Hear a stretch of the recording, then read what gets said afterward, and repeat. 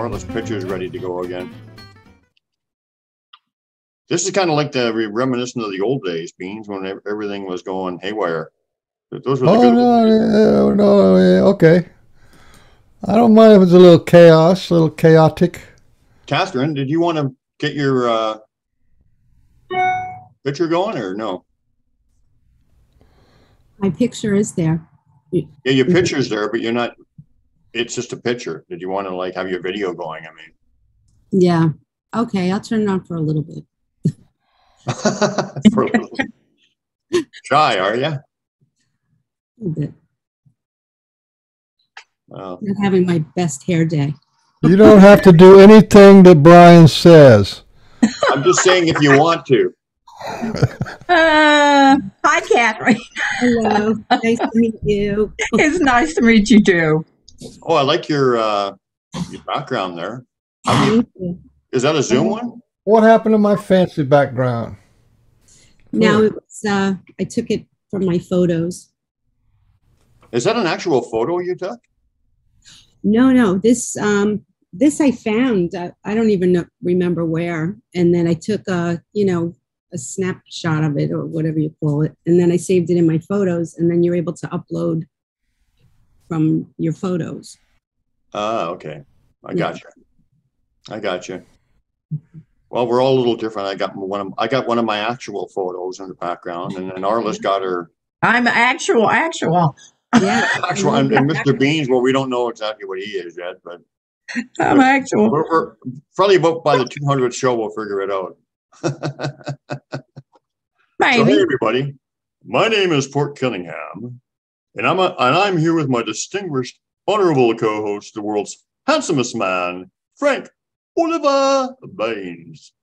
Hey, Mr. Beans, how you doing today? I'm doing good. I'm good. I was so glad everybody's going to show up, and with you know, I've been waiting to talk to uh, Arla since you know about a year now. It's just yeah, yeah. See what's going course- on. This is the Pork and Bean Show, and we'd like to welcome our special guest, uh, Arla Cailleach Collett. And uh, we're going to have other people stop Colette in. Williams. They can ask Arla questions, or they can just uh, make some comments or whatever. I, ju- I just call me Ma, like Tot does. Well, Ma. well, Ma, what's going Uh. on? Don't get me going on my accents now. Uh, please. Yeah, this um, Ed and whatever he comes on, I'm doing a Frenchman accent with him, and it's uh, it's getting out of hand. so, what's been going on with you lately, Arla? How, how are you doing? I'm I'm doing doing good. You know, we, it's a process. It is for everybody.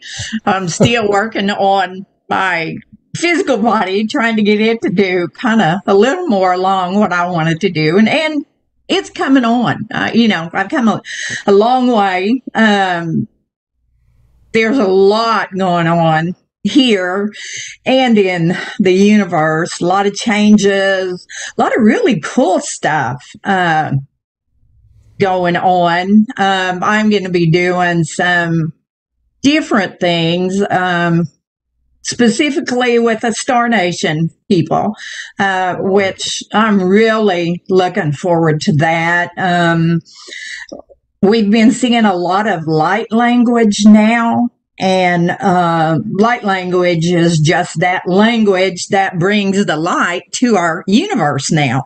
And it comes in, you know, many forms. It comes through music, uh, pictures, uh, glyphs, even, um, and, and writing, even in the fire and uh, in the sky and different things. So, um, and that's pretty interesting now too. But you know, Kashima, his people came from the stars when they came to this earth such a long time ago. So that's just an extension of who we all are, who they are, and who everything in this universe is actually. So, but you know, I still have to put up with the pranks of the hairy kids around here, and I'm a pretty easy mark.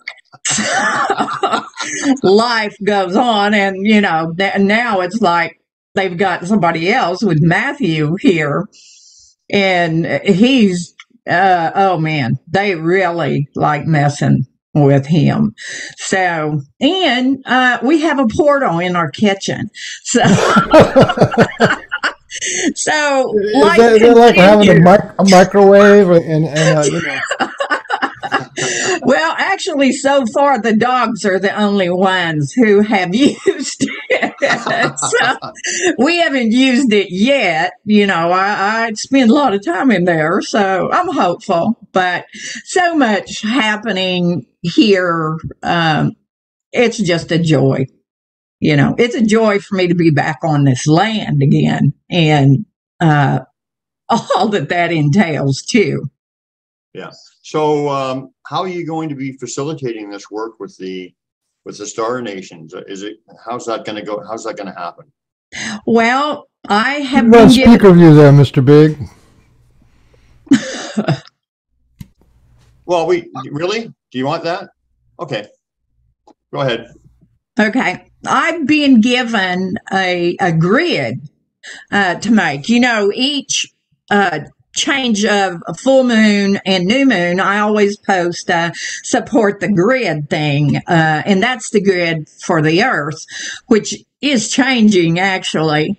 And uh, Kashima had given me that to do um, from where he took me one time and, and told me that his people uh, helped to do that very thing for such a long time was to support that earth grid uh, to keep her uh, stable. And now, since the energies are changing, it's changing. It's not an instability change, but it's just an energetic change. So they've given me this grid that uh, we will be building. And, you know, as I build this grid, and there were very specifics on it, uh, how it's to be built and whatever. And from what I understand about it now, uh, it's an information exchange grid so that it's easier for us to uh, understand information we're given. You know, we're given information all the time.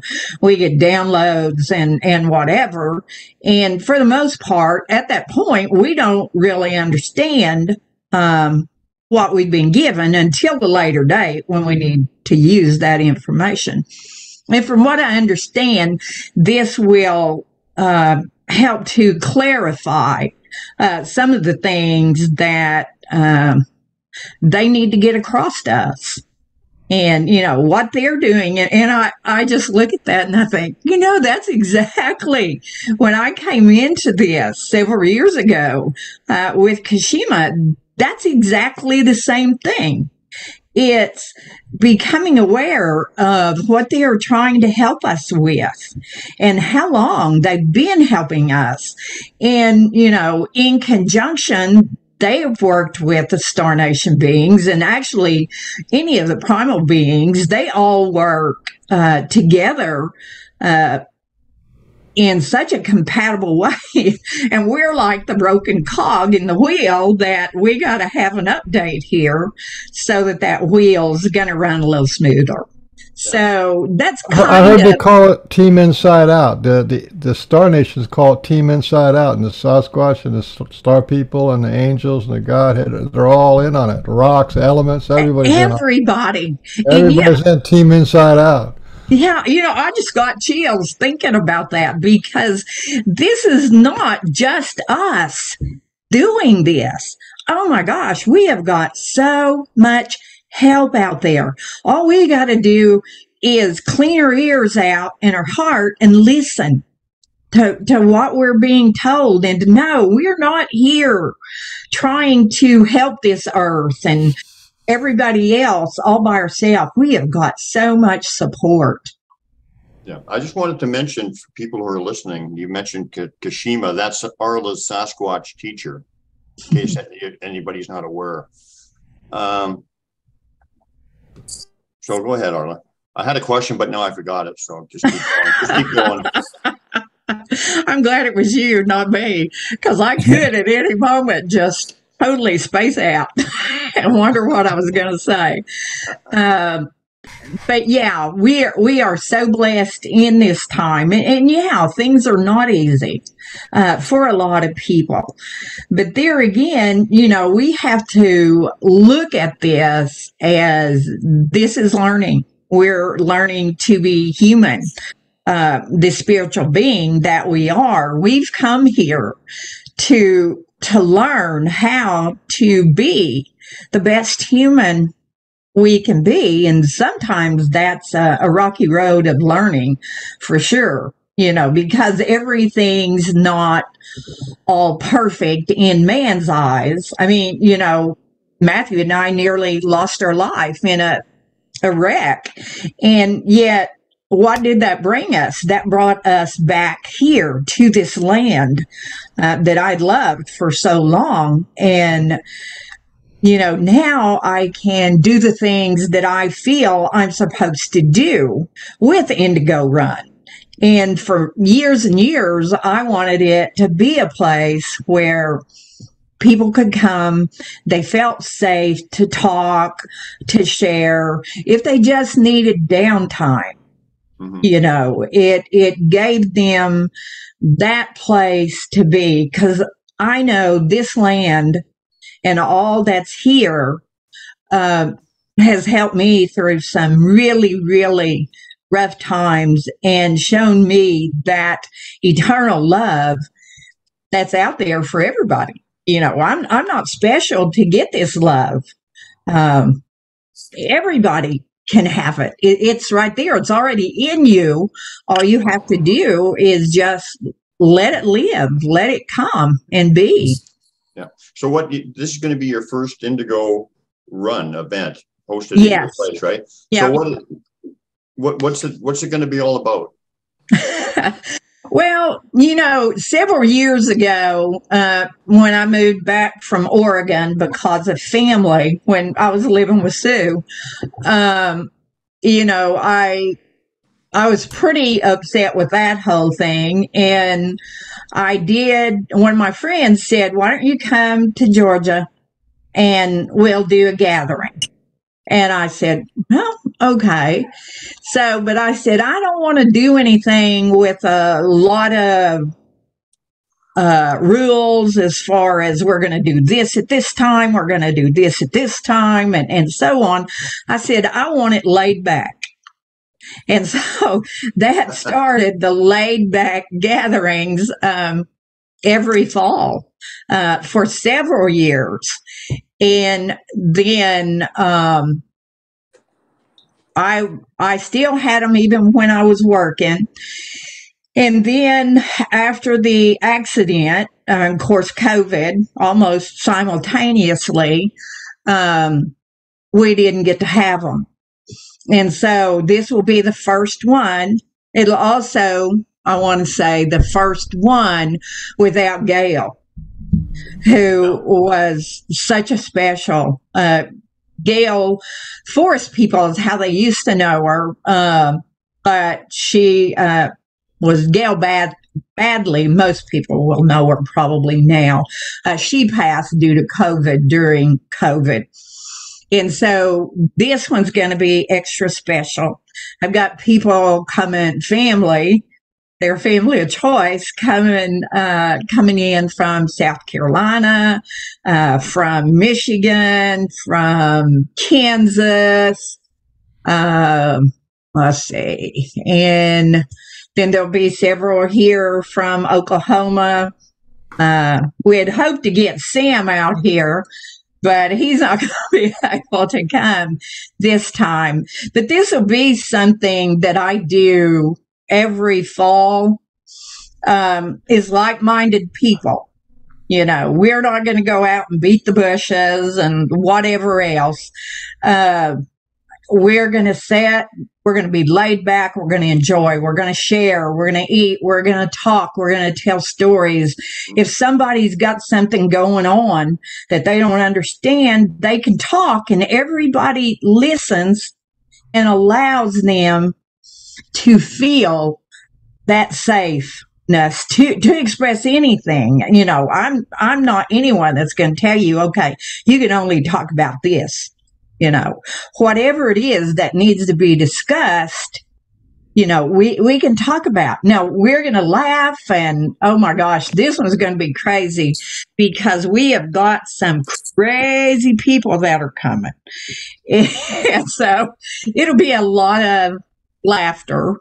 Um we're going to do some special secret stuff that nobody knows but me and two other people, and it has to do with crystals. So, and I'm being very silly here with this. I'm just not telling the people who are coming what we're going to do, but it, it's going to be fun. And um, Realize your intentions. so, you know, it, it'll be fun. And uh, hopefully it'll be a blessing. You know, uh, uh, Rick Stewart, I call him Stewart. Um, he is was here at a gathering in uh, what was that 2011 when he uh, took the recording of him actually seeing Indigo's family. And um, I never thought I would hear that recording. He was told he couldn't take any pictures, but he could record. And so what you get to hear is everything that's going on with him during this time and me, you know, talking. Um, but that happened at a gathering. Uh, we were actually making a drum. It didn't have anything to do with the primal people. It had to do with making a drum. But as I always tell people, I don't have any control over what they do. They choose what they do. They're my neighbors. If they want to come by and say hi, they can. If they don't, they don't have to. I don't call them in or do anything else. They're, they make their own decisions. But like I said, you know, I've always wanted this to be a, a safe space. There'll be different kinds of workshops throughout the year. Everything from drum making, tie dyeing, to uh, more spiritual type workshops. I'm going to start teaching again on uh, Zoom. I'll be doing some classes on Zoom. Hopefully, I get that going in November. So it seems like the older I get, the more is laid on my plate.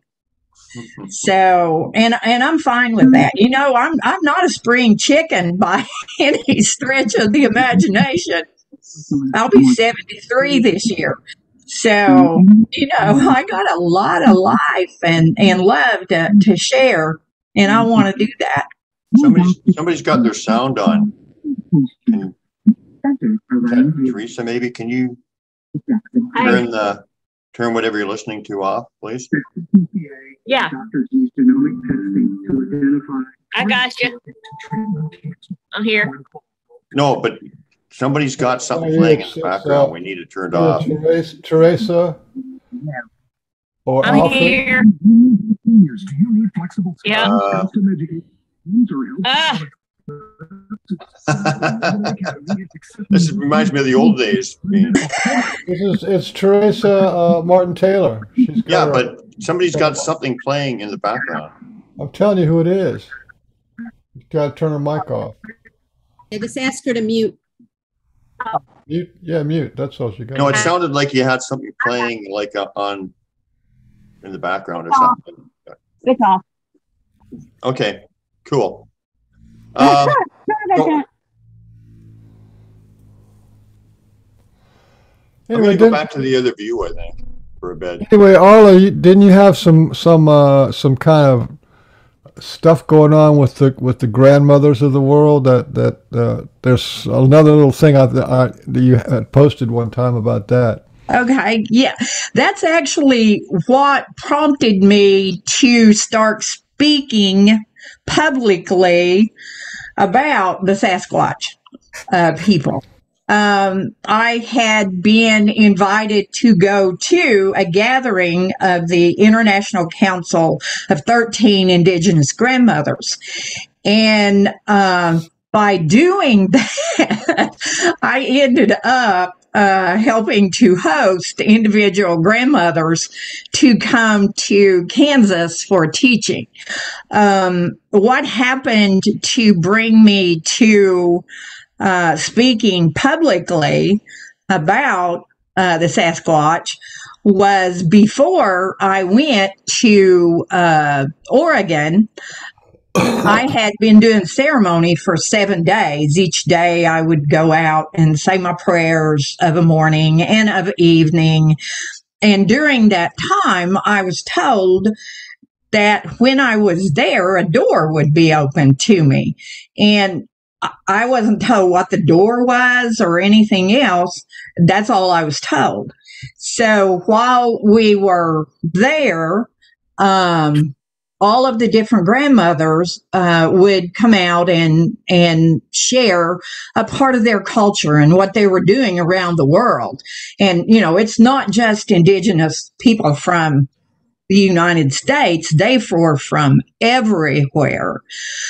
Well, the particular day that the door was supposed to open to me, uh, grandmother Tsering who was Tibetan and had to leave Tibet uh, when China came in. Uh, she and grandmother Aama Bombo, who was from Nepal, uh, were going to be the grandmothers that were going to share that day.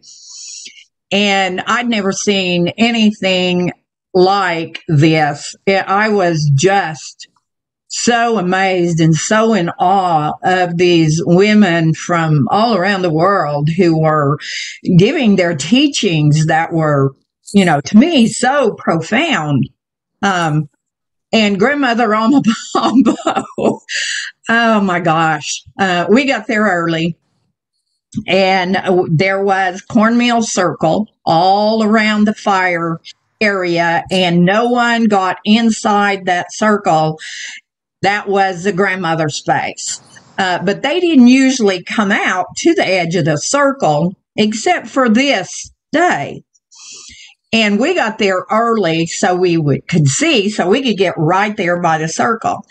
And um, they started bringing grandmother Aama Bombo's things in. They brought a big piece of plywood out and set it not five feet from me, put her rugs down and the thing with grandmother Aama Bombo is uh, she channeled Kali and Hanuman. All right. so my two favorite. Yeah. All I knew at that point, I knew a little bit about Kali. I didn't know a whole lot, but I knew that if she started channeling Kali, I didn't want to be five foot from her. I didn't have much choice. I, you know, I, I was there and I was going to take in every bit of it that I could.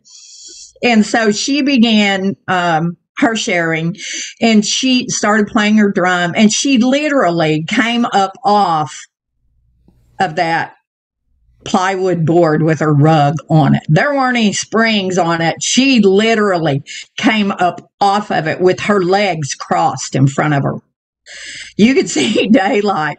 I I sat there and watched that and I'm like, "Oh my gosh this is such a blessing to witness something. I mean, here I am. I'm this grandmother from Oklahoma who hasn't really seen a whole lot like this, cultures from other worlds, but I, it was wonderful. It really impacted me.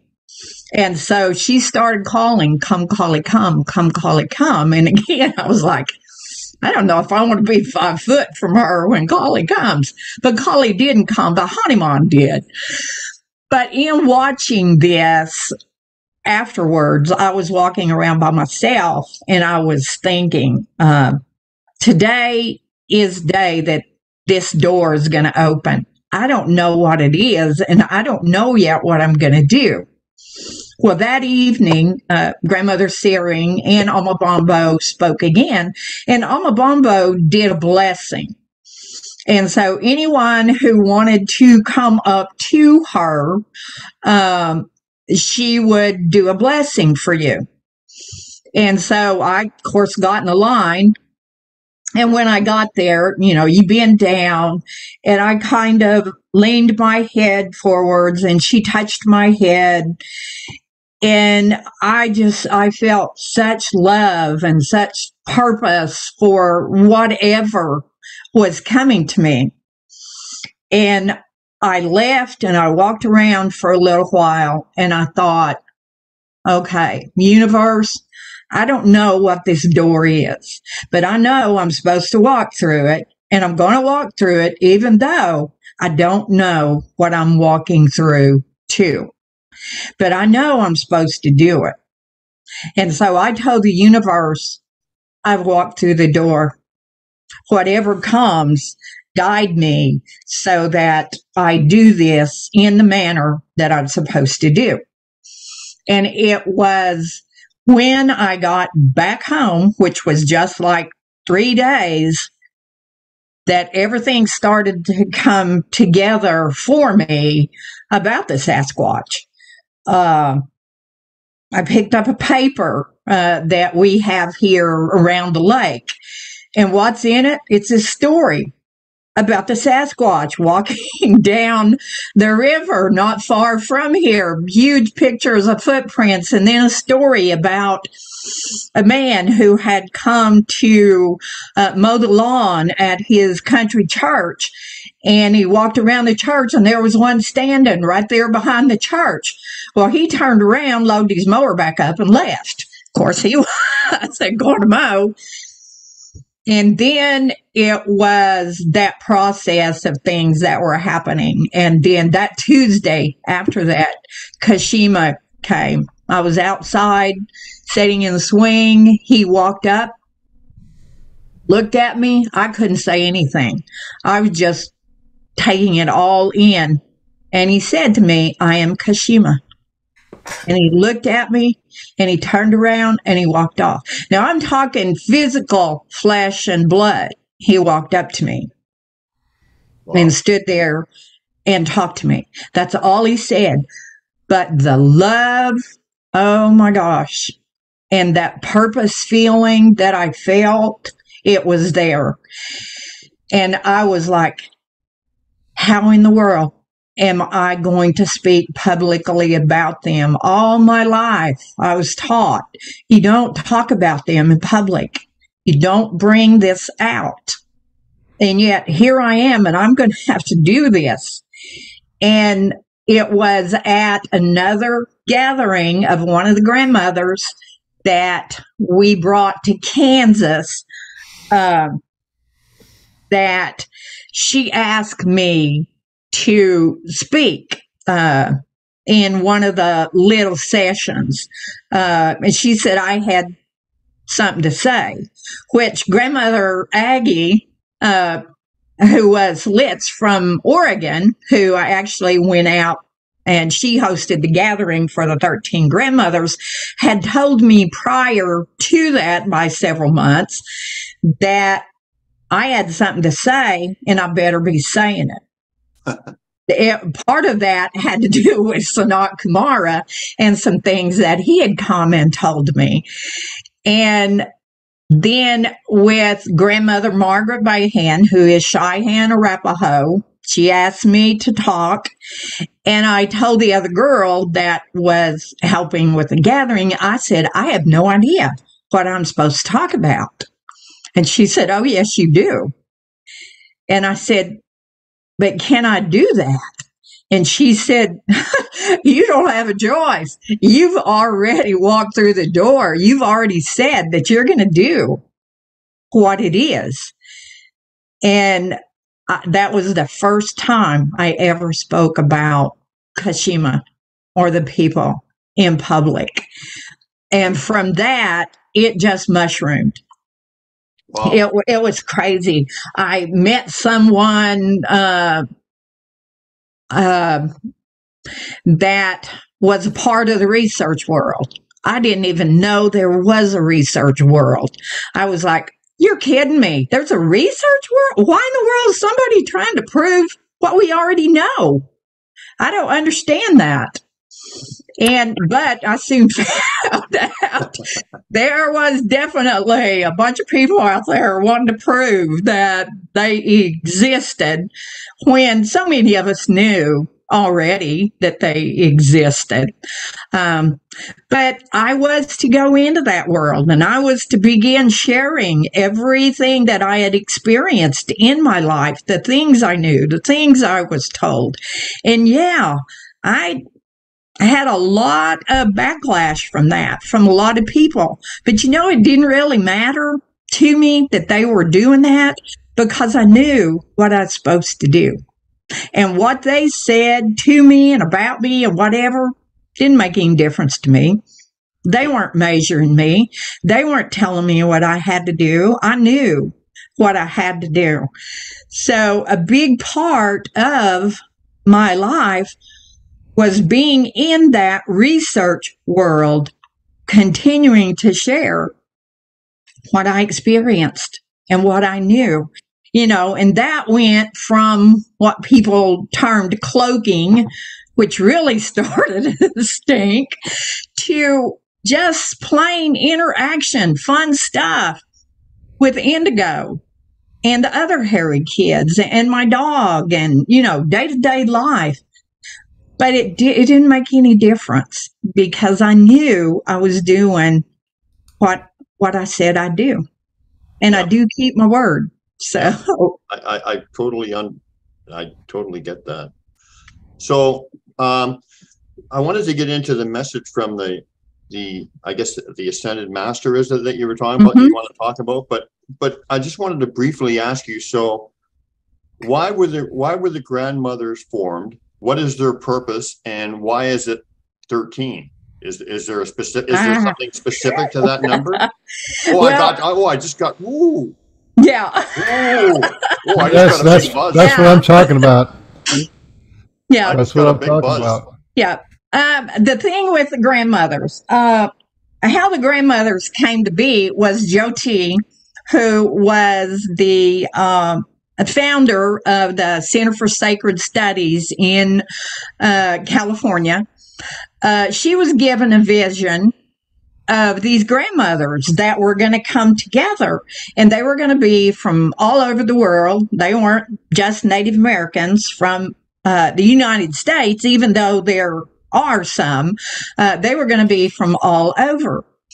And so uh, she uh, went to uh, Gabon, Africa, and met with grandmother Bernadette, and uh, who works with Iboga, and uh, talked with her about this. And so, you know, she told her, "Well, you invite grandmothers."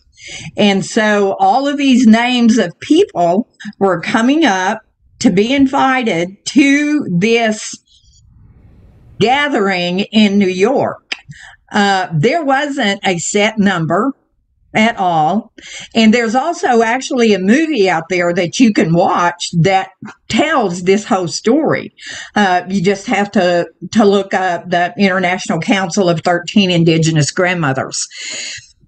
Um, and so anyway, they came to New York. There were more, but people like Gloria Steinem was invited. Um, all kinds of women who had stood up for the earth and for other people who were either helping their people or helping uh, the earth's people. Um, and so all these women came and they began to talk about this. Well, there were 13 that were left after all the women had decided whether they could be a part of this because this was a big commitment. This was going to be traveling the world as a group to help in all different areas of the world. And it was going to be time consuming. Well, when everything was said and done, there were 13 women sitting around that table. And those 13 women became those 13 grandmothers from around the world who set out to help. Grandmother Aggie would always say, I'm the voice of the voiceless. And she was water. She did so much for her people, uh, got dams taken down from the Rogue River to bring the salmon back. I mean, these are not just women who some people would say were woo. These were women who did actual things for this earth and continue to do so, even though we've lost some of them. But Oh, so hang on a second. So when when when one is when one passes on, is are they replaced by another grandmother? no, so they they're not. so they're initially thirteen, and now so that they're, they're not replacing them. No, no, they're not. But the thing is, there are other grandmothers who come on board to help. But because those 13 were so special in the way that they came together, um, you know, um, the grandmother uh, uh, from Alaska, uh, Rita Pitka Blumenstein, she was married to a Jewish man. Um, she brought with her 13 little bundles carried in a bigger bundle. And as those 13 women were sitting there around that table, she took those out and she said, My grandmother gave these to me when I was a little girl. And she said, She told me one day I would be part of a council of 13.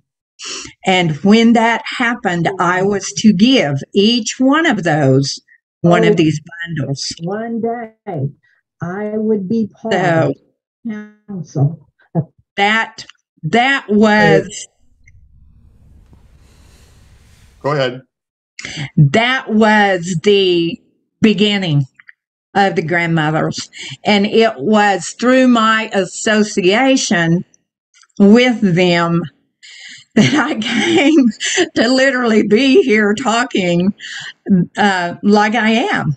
You know, it um, it was an amazing thing. It totally changed my life. Uh, my life's not been the same uh, since then, but it's it's what I'm supposed to be doing. And, and it's what we're all supposed to be doing. We're supposed to be supporting uh, this, taking care of our earth and, and taking care of each other. And, you know, I always tell everyone, look them up. There's videos on YouTube. We still have some very active, uh, Mona Polacca, who is, I think, Hopi Tiwa. Uh, she's on my friends list. Grandmother Margaret Behan is on my friends list on Facebook. And so, uh, Grandmother Flordemayo, uh, Grandmother Alicia, uh, there's a lot of these women who are still out there and, and they bring their teachings on everything. Their uh, traditional medicines. I mean, you've got ayahuasca, you've got iboga, which is similar to ayahuasca. You've got the Santos Niños, which are uh, the holy boys or the the mushrooms that are used. You have grandmother Margaret Behan. Um, her grandfather was the one who, uh, with the help of uh, an official, uh, was able to bring the Native American church into legality where that they could use their sacred herbs uh, within their medicine. So, you know, these women did a lot of different things. Um, grandmother Julieta, who worked with the Santos Niños, um, she got up early, early of a morning and she started praying very long before anyone was up.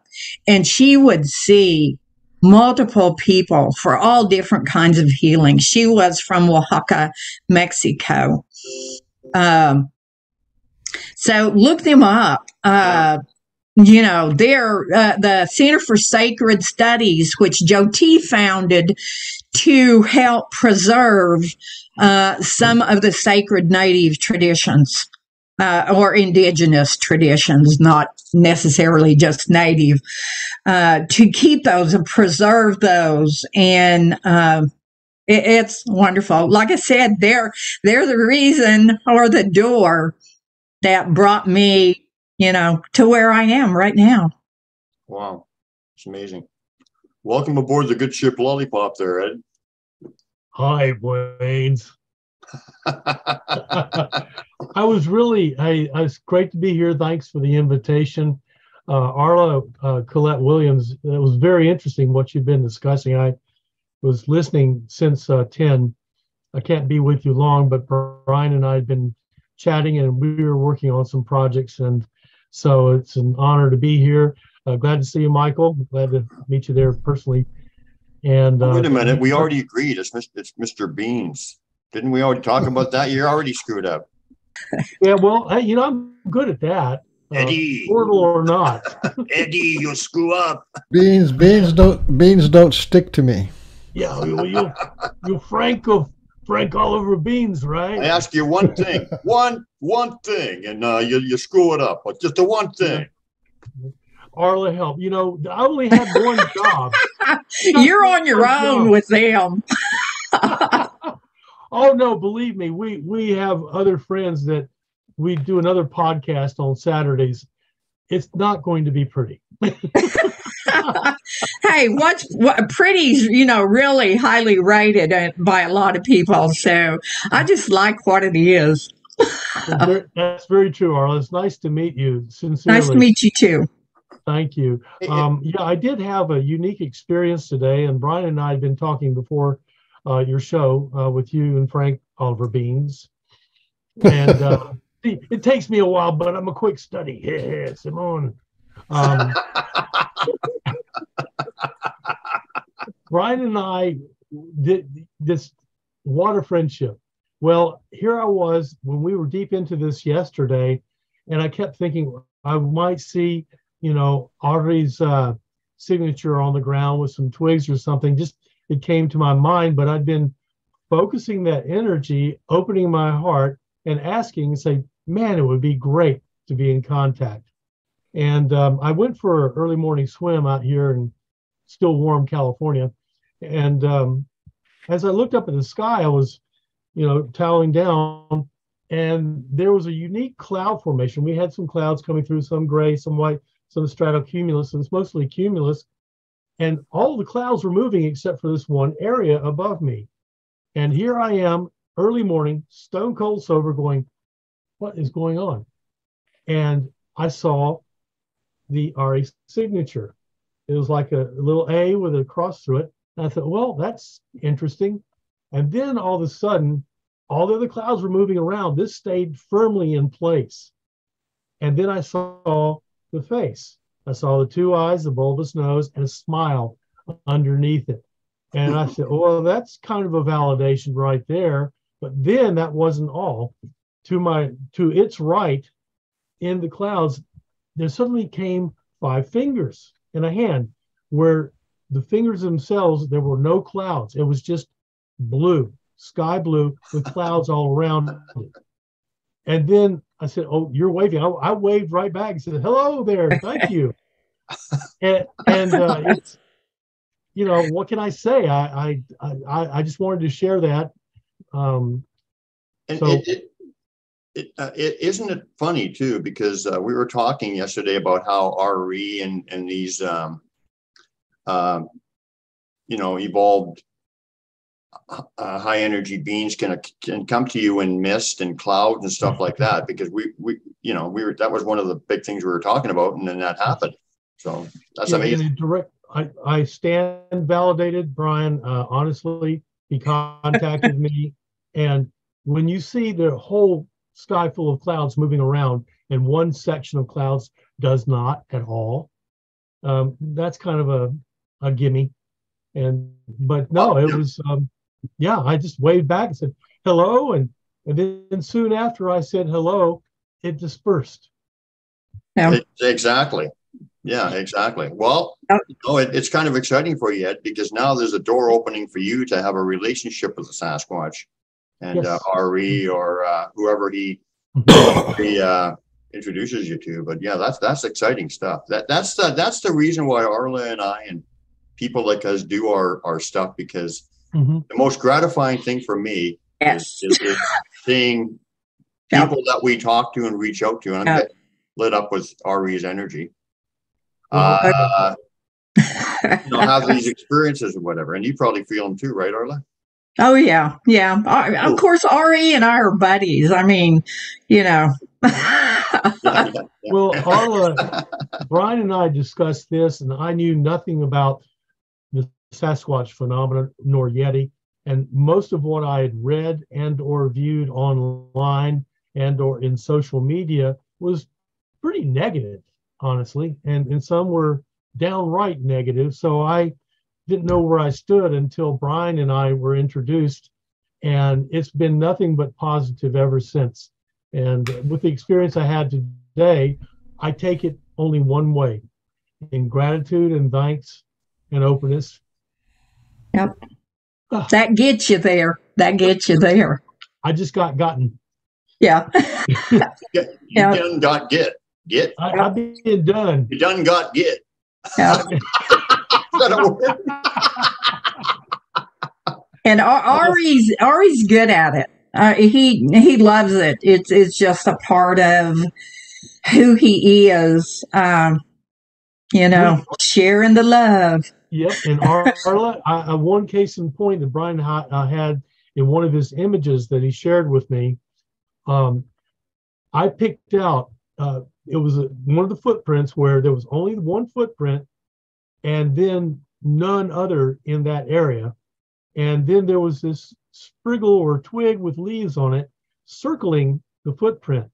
And Brian hadn't said a word yet. And I just said, wow, what a sense of humor. He said, hey, there's the footprint right there. You know, you can see it. And it just. I just uh, warmed up even more after that. But I have been, uh, understandably, when you talk about the Godhead and everything else, people of different faiths, still it's the same exact love and energy Yes. that comes from Yeah, eternal it is. Father and the universe. It's same. universal. It, it's not doesn't have any dogma attached to it or anything else. It's totally universal. And that's just that's the coolest thing, you know, for me in being a part of their lives is to know that the very thing that they're coming and helping us with, there are all kinds of other beings that are helping other people uh, to do this. I mean, you've got the dog men. They're that's a hard learn right there because that's in your face fear big time. And when you get through that and can work with that, fear just doesn't become a part of your life anymore because you know your your heart's open and and you can look and and allow things to be without putting as Kashima said do not put your thoughts as a human onto how we should be and we mm-hmm. do that We do, and and in keeping with that exactly, as I said to Brian, and what he knows many things that I've been working on for years as well. It's all the same thing. I said I came into this now with Ari and any of the others that, that we meet soon. I entered it as a child, as an empty vessel, only That's saying I love you. You know, and there's no other agenda. And as you were saying earlier, in what you're you're you were saying is we see so many people with agendas, with negativity, with fears that is totally unneeded, unbiased, yet they want to live in that fog instead of open into the clear blue sky. Yeah. And, Yeah. and even more and even further because we're all going to be fine, but so many people, that's part of the, the problem we have on this present planet with the evil and the uh, corruption and, and, and what some people think they can do to become elitist and control others at will. And, and this this thing about innocent people, there is a great awakening occurring right now. and it's starting to really grow. Um, and I can feel it. I can feel that energy, and it's uh, it's really super duper great uh, because all things are temporary, and there's this thing called karma. People misunderstand karma. It's not just negative or positive. Karma is simply karma. It's what you make and place into the karma as an action and an opposite and equal reaction. You spread love, you receive love. You give, you receive higher than. You take, you lose. You take more and you really lose. And that is a universal law that's happening. Can you speak English, please, Ed? No, no, Blaze. I, I'm done speaking. I told you I'd come on here and I was going to be nice and calm and respectful. And Arla, with her speak, I just had to keep quiet. But now that I'm with you again, it's going downhill really fast. You know what? When when Arla was talking about uh, researchers and the world of researchers, I just posted this little thing uh, from uh, Jane Jane Goodall. You know, and uh, she's one of the world's greatest primate researchers that was. And what she did is she would just go close to where they were Mhm. and sit. She sat, and she knew that they were there. They knew she was there, and uh, and then a relationship was formed. And it, to me, that's the way That's this it. research needs to be done. You can sit in your That's home. it. You can sit in your front yard, or you can sit 10 miles out in the woods. It doesn't matter. If you just sit there and you know that they're there, they'll eventually start a relationship with you. And that's really all you got to do. Yeah, it, it's it's so simple, you know, and, and I've told people for years, it's all about respect. Whatever you do, do it with respect of yourself, because if you respect yourself, uh, you're not going to disrespect anything else. Uh, they don't need the forest to come to you. They don't need anything specific to come to you. All they need is for your heart to be open and your willingness to be there. And when they see that that's right, then then they're going to come. Now they may come before and start planting little seeds of things, uh, or you may just get it straight in the face, like, oh my gosh, looked up at this cloud and up, look what's there, you know. so, which is very much Ari for sure. But yeah. uh, you're exactly right, Michael. You don't have to have anything particular. It's And- over Beans. Uh, well, yeah. Sorry, I couldn't resist. well, Yeah. and- So, if I might share this briefly, um, I have another engagement to to attend, but frankly, look at it this way: Shakespeare, "To thine own self be true." Uh, what Jesus, uh, Yeshua, Jesus of Nazareth, stated, uh, "Suffer the children to come to me." So you will not enter heaven unless you are as a child, and it's that simple. Um, there's no more agenda to it. And when you care, like in the work that I do, it's all about elevating the human condition. And we cannot take the splinter out of someone else's eye until we remove the plank from our own. So without any obstructions and simply thinking as a child, it comes in any way, shape, or form.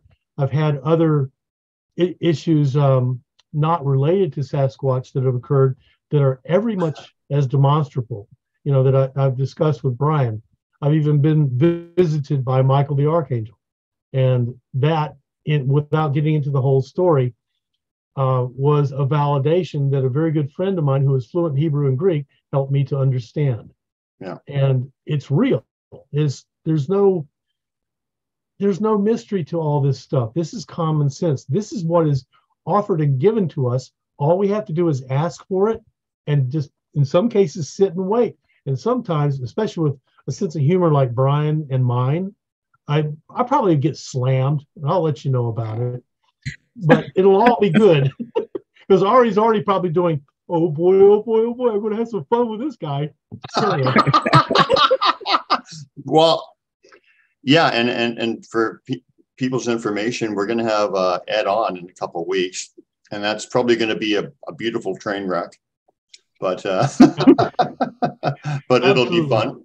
And you know, as uh, you were telling that story, whatever, I feel RE's approval for you. So Oh, he's uh, you're you're you're uh, he likes you. So it, it, it could be interesting. Could be very interesting. well, I like him too. no, you can you know you can cry. We usually have a lot of people cry on the show. If you want to cry, that's more you feel more than free. I get it.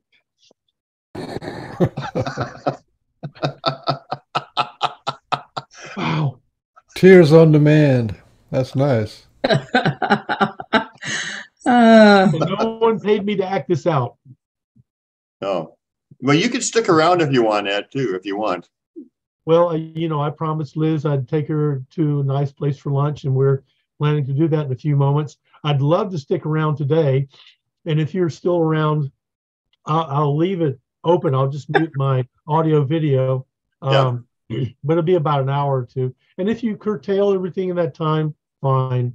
Um, but Well, tell us I- when you're going to come back, and we'll make sure that we end the show just just before. I just felt some energy from Ari. I can't believe I just he said Brian is a nutcase. that was definitely I believe that, That one. was definitely Ari. now, was that a joke, or did you really feel that? Um, That's well, funny. Uh, you want me to tell you the truth or blow sunshine? I'll tell you the truth. It was real. Wow. You actually heard him say that, or you, or you just felt the emotion? I felt it. I just felt it. Just like an instant energy. It's kind of like a tingling thing, and then Oh yeah. boom.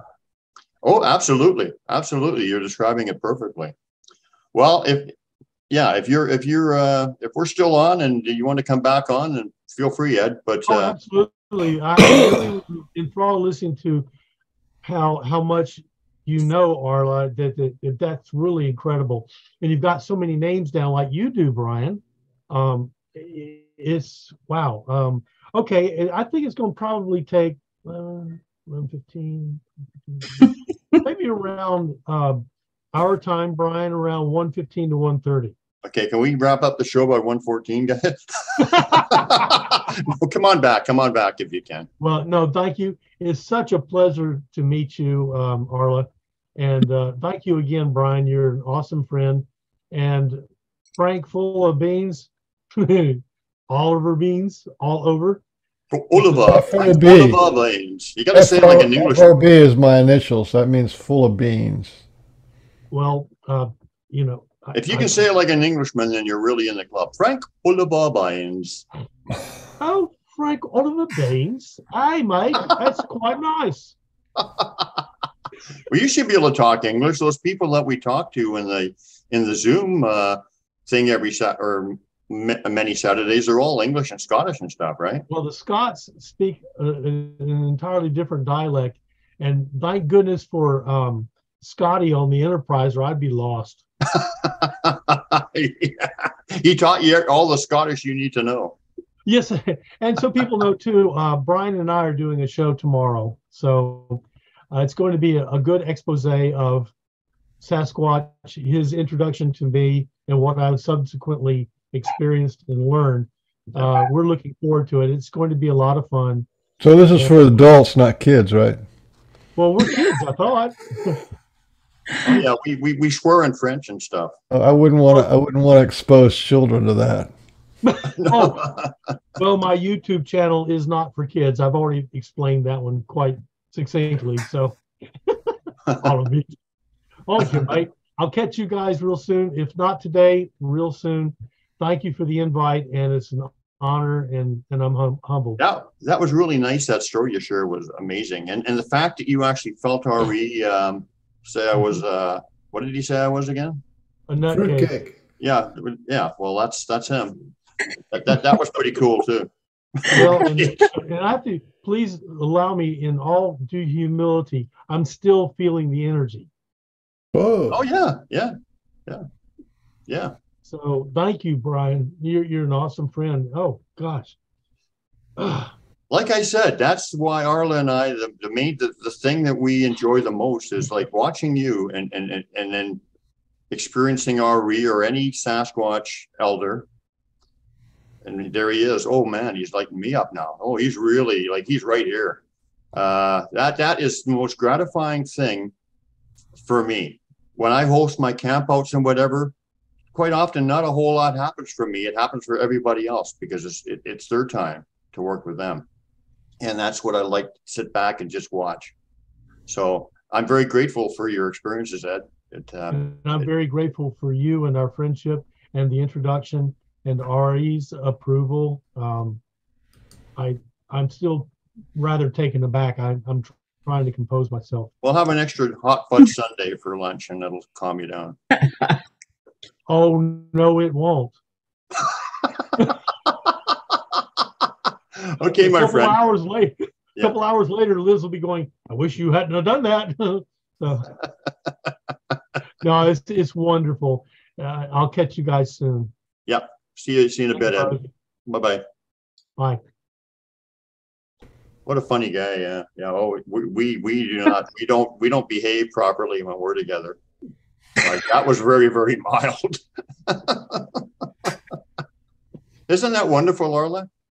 What It you is. You know, whatever? I I look back over all of the experiences I've had uh, where people just come to that, you know, that understanding, you know, and and the simple thing of being respectful and um I know years and years ago when I came into uh, this and the Bigfoot research world, which I'm not a researcher. Uh, never said I was a researcher. I'm not trying to prove anything. I'm just here sharing what I've got to share. But, you know, people's paradigm being shifted by just a, a few words of how to present yourself. You know, like Michael was saying, just go out and set don't, you know, you don't got to wood knock. You don't have to do all this other stuff to get a response. If you really want a response, then just be there. Just be Yeah. there with your heart open. Don't have any preconceived ideas about how it's going to happen, but just let it be yeah. and you know people come back and you know and say oh my gosh you know i did this and i had this happen or you know this happen and you know i firmly believe that we're you know we're to be planting seeds however it is we plant those seeds and some of those seeds we plant we're never going to know if they grew what the intention was in planting them but that doesn't make any difference either. What makes a difference is we continue to plant those seeds. You know, uh, when I first came into the Bigfoot research world and started sharing, I uh, said something one time and uh, I got called on saying it. But what I said was, when I came into this world of research, I felt like I had been dropped down in the midst of the Philistines. Now, if you know anything about the Bible or Christianity, you know who the Philistines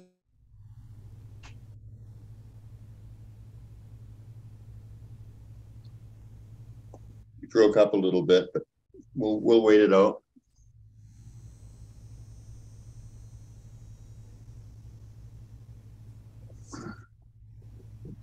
Having some technical difficulties, everybody. This is, uh, this has been a good show. Uh, I like what Ed said when he came on. It's uh, so gratifying to to introduce people to the Sasquatch and then have them have their own experiences. It's just beyond words. You back? What happened? we just we went away and we Okay. came back. So the Philistines. Anybody who knows about the Philistines? Yeah. Um, you know, that that was that thing that I wanted the people to understand that I wasn't out here preaching to the choir. I wasn't talking to people of like minds. I was out sharing in the midst of a lot of people who were there wanting to debunk anything I said. You know, and when I said from the very beginning, I'm not trying to prove anything here. I'm not a researcher. I'm going to share with you. And there were a few of us that stayed doing that. Like I said, Tom was one of those and, and there were others too that, that continued to share, you know, and those areas of people still exist. Uh, I don't go there anymore. I'm in very few of the groups now. Uh, I don't have to, you know, I don't have to be in that. Now, would I if I was told I was supposed to? Yeah, I would. But I don't have to put myself in that place. So I get to watch so many people out there bringing so much light to all of this. And it makes me so happy seeing these people like Ed, you know, who they have this experience if he had brought that experience to uh, a podcast years ago, he would have been slammed. you know, and yeah. uh, he has the availability now to bring that to a safe space, which is here. Yeah. You know, and that doesn't mean that not anybody can come here because this is open Anybody can come as long as you're respectful. You can believe what you want to believe. It does, doesn't matter, yeah. really.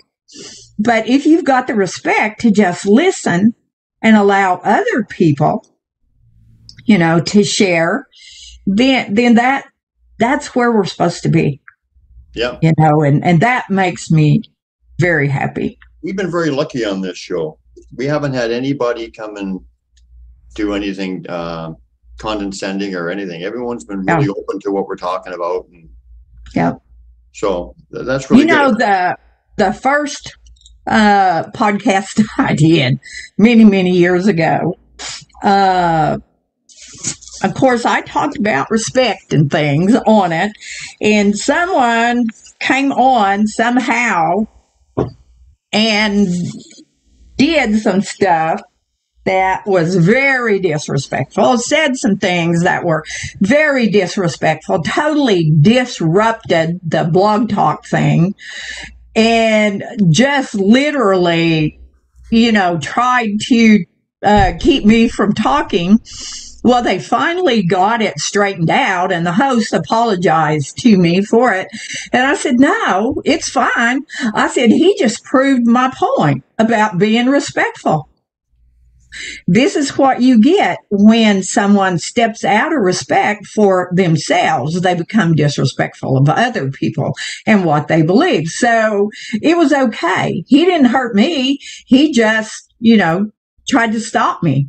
And I'm not easily stopped and have never been easily stopped and yeah. don't intend to be easily stopped. You know, I'm always going to be respectful. You're never going to hear me go off on anybody or or anything else. It's it's just not who I am. But he proved my point of respect. Yeah. You know. Yeah. And that was one of the things Kashima told me too. You know, you humans, you don't respect the water. You don't respect the air. You don't respect the earth. You don't respect each other. You don't even respect yourself. And that's the worst. I see Sam. this is like an old reunion. We, we had a, some of our early shows had the four of us on there. Hey, Sam, how you doing? Uh, have you, have so, you been listening so far? Can you guys hear me? Yeah. Okay. I love that voice. oh my gosh, I'd hug your neck. I know. I'm at work. I'm at the beautiful, my beautiful awesome. job. My my lovely fence background. Have you have you heard the show up to up to now? Yeah, I've been listening. Isn't that ah. amazing what Ed was saying about his RE experience? Isn't that yeah, man, beautiful? Uh, yeah, I really liked Ed a lot. I got a good feeling from him. Yeah, yeah, absolutely. He's a really good guy. So mm. that's that that's typical RE, isn't it, Arla? I mean, oh he, yeah, what, oh yeah. Here he is again, yep, do, doing his uh, doing his RE stuff. yeah, he likes he likes to be uh, big and like you know big theatrics in the sky or whatever. He likes to do. He, he doesn't do anything. Well, he does. He does it subtle, but he also goes real big Hollywood production. He is big. he is big, literally. so, what's been happening with you, Sam? Nothing. Working. That's pretty much it. I was kind of sad you couldn't come up to the gathering this time, but uh, maybe next year. I know, man. I haven't been able to do a lot. Um, we did a lot of traveling this summer, so that pretty much used all of our my free time up. So I wasn't able to go see you. Haven't been able to go see Arla. So I'll give you more warning next year. Yeah. You know, I, know, I just need more. more you're another one that is, it makes me green with envy. You, you and uh, and and Kevin, and he goes off to Hawaii, and you go off to the mountains and stuff. this is too much. Everybody's smiling, kids are playing.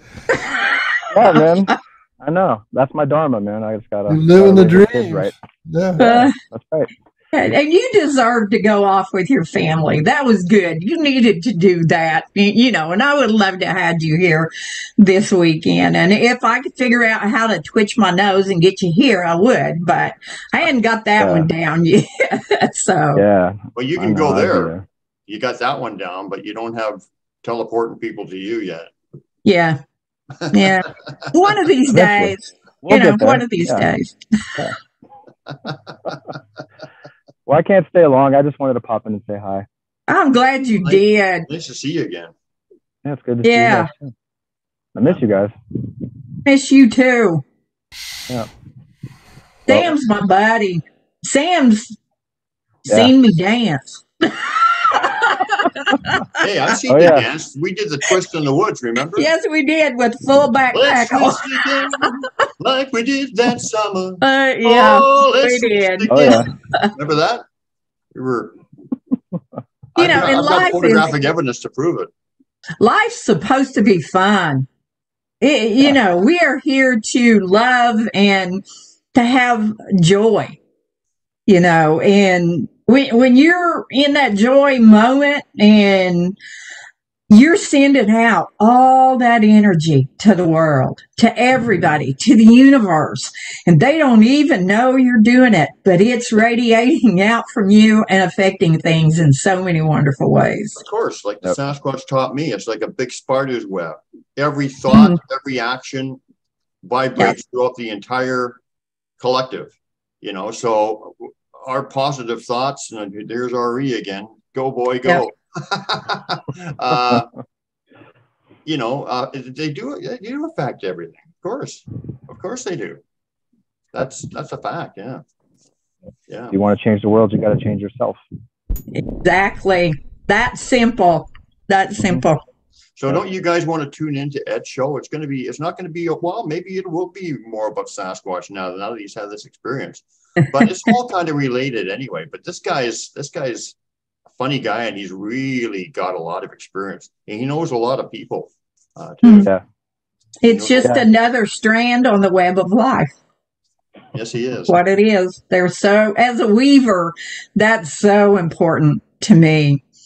You know, to understand that we're all this piece of web that weaves together the world that we live in and the more good weavers we have the better off what we what we weave. So much. Very well said and very true. So did you want to get into some of the uh, did you want to read some of the things that this uh, no i don't know i can't remember the name i'm sorry but it's in the Sanat Kumara. Yeah yeah did you um, want to get into that? Or yeah you... before you do though i'm going to check out so i'm going to leave it leave it to you guys. I got to get back to work. Well, we'll have to have you on the show there, Sam, one time. Are you willing to come on? That'd be awesome. Oh, yeah, definitely. Just let me know. Squeeze me in. Squeeze me, please me. We'll just we'll get you in there somehow. All right, sounds good. All right, love you guys. Love you too. Bye. bye.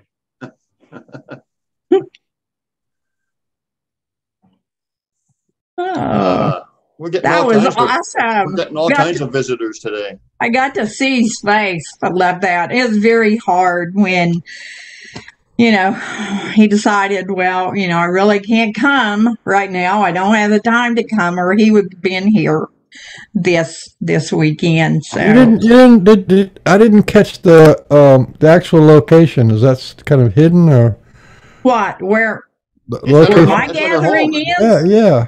No, I it's didn't- in it's Indigo Run. In her That's where I live.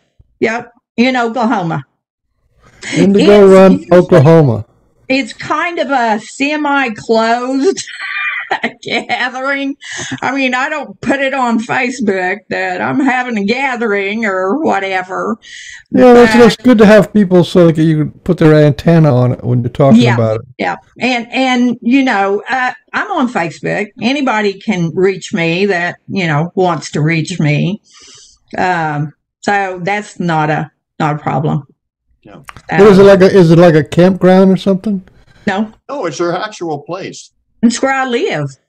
That's her I have- farm there. I have 20 acres here with acres and acres and acres around me where there isn't anybody. well, are Sue and I invited next year if, if we're if You're always I'm- invited. You were invited this year.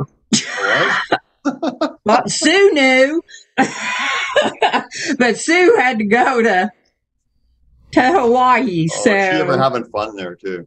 oh, I know. Her It's little wonderful. granddaughter is just so adorable.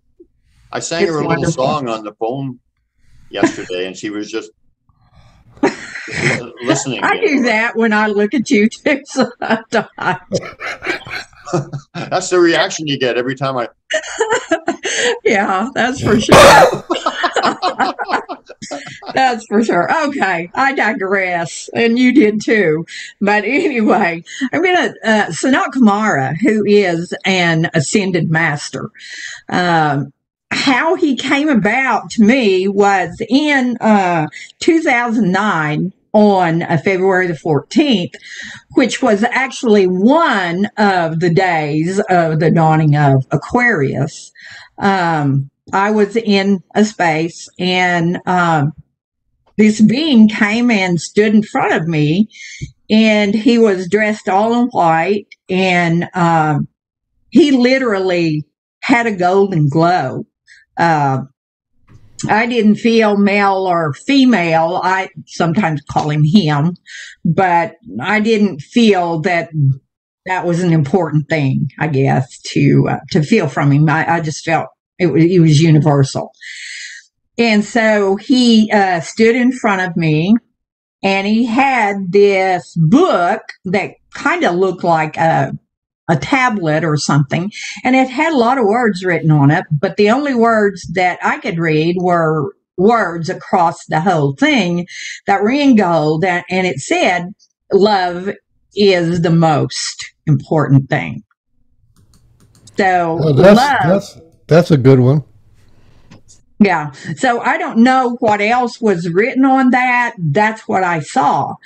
And I, I kept looking at him and thinking, I know who this is. He didn't give me his name or anything like that.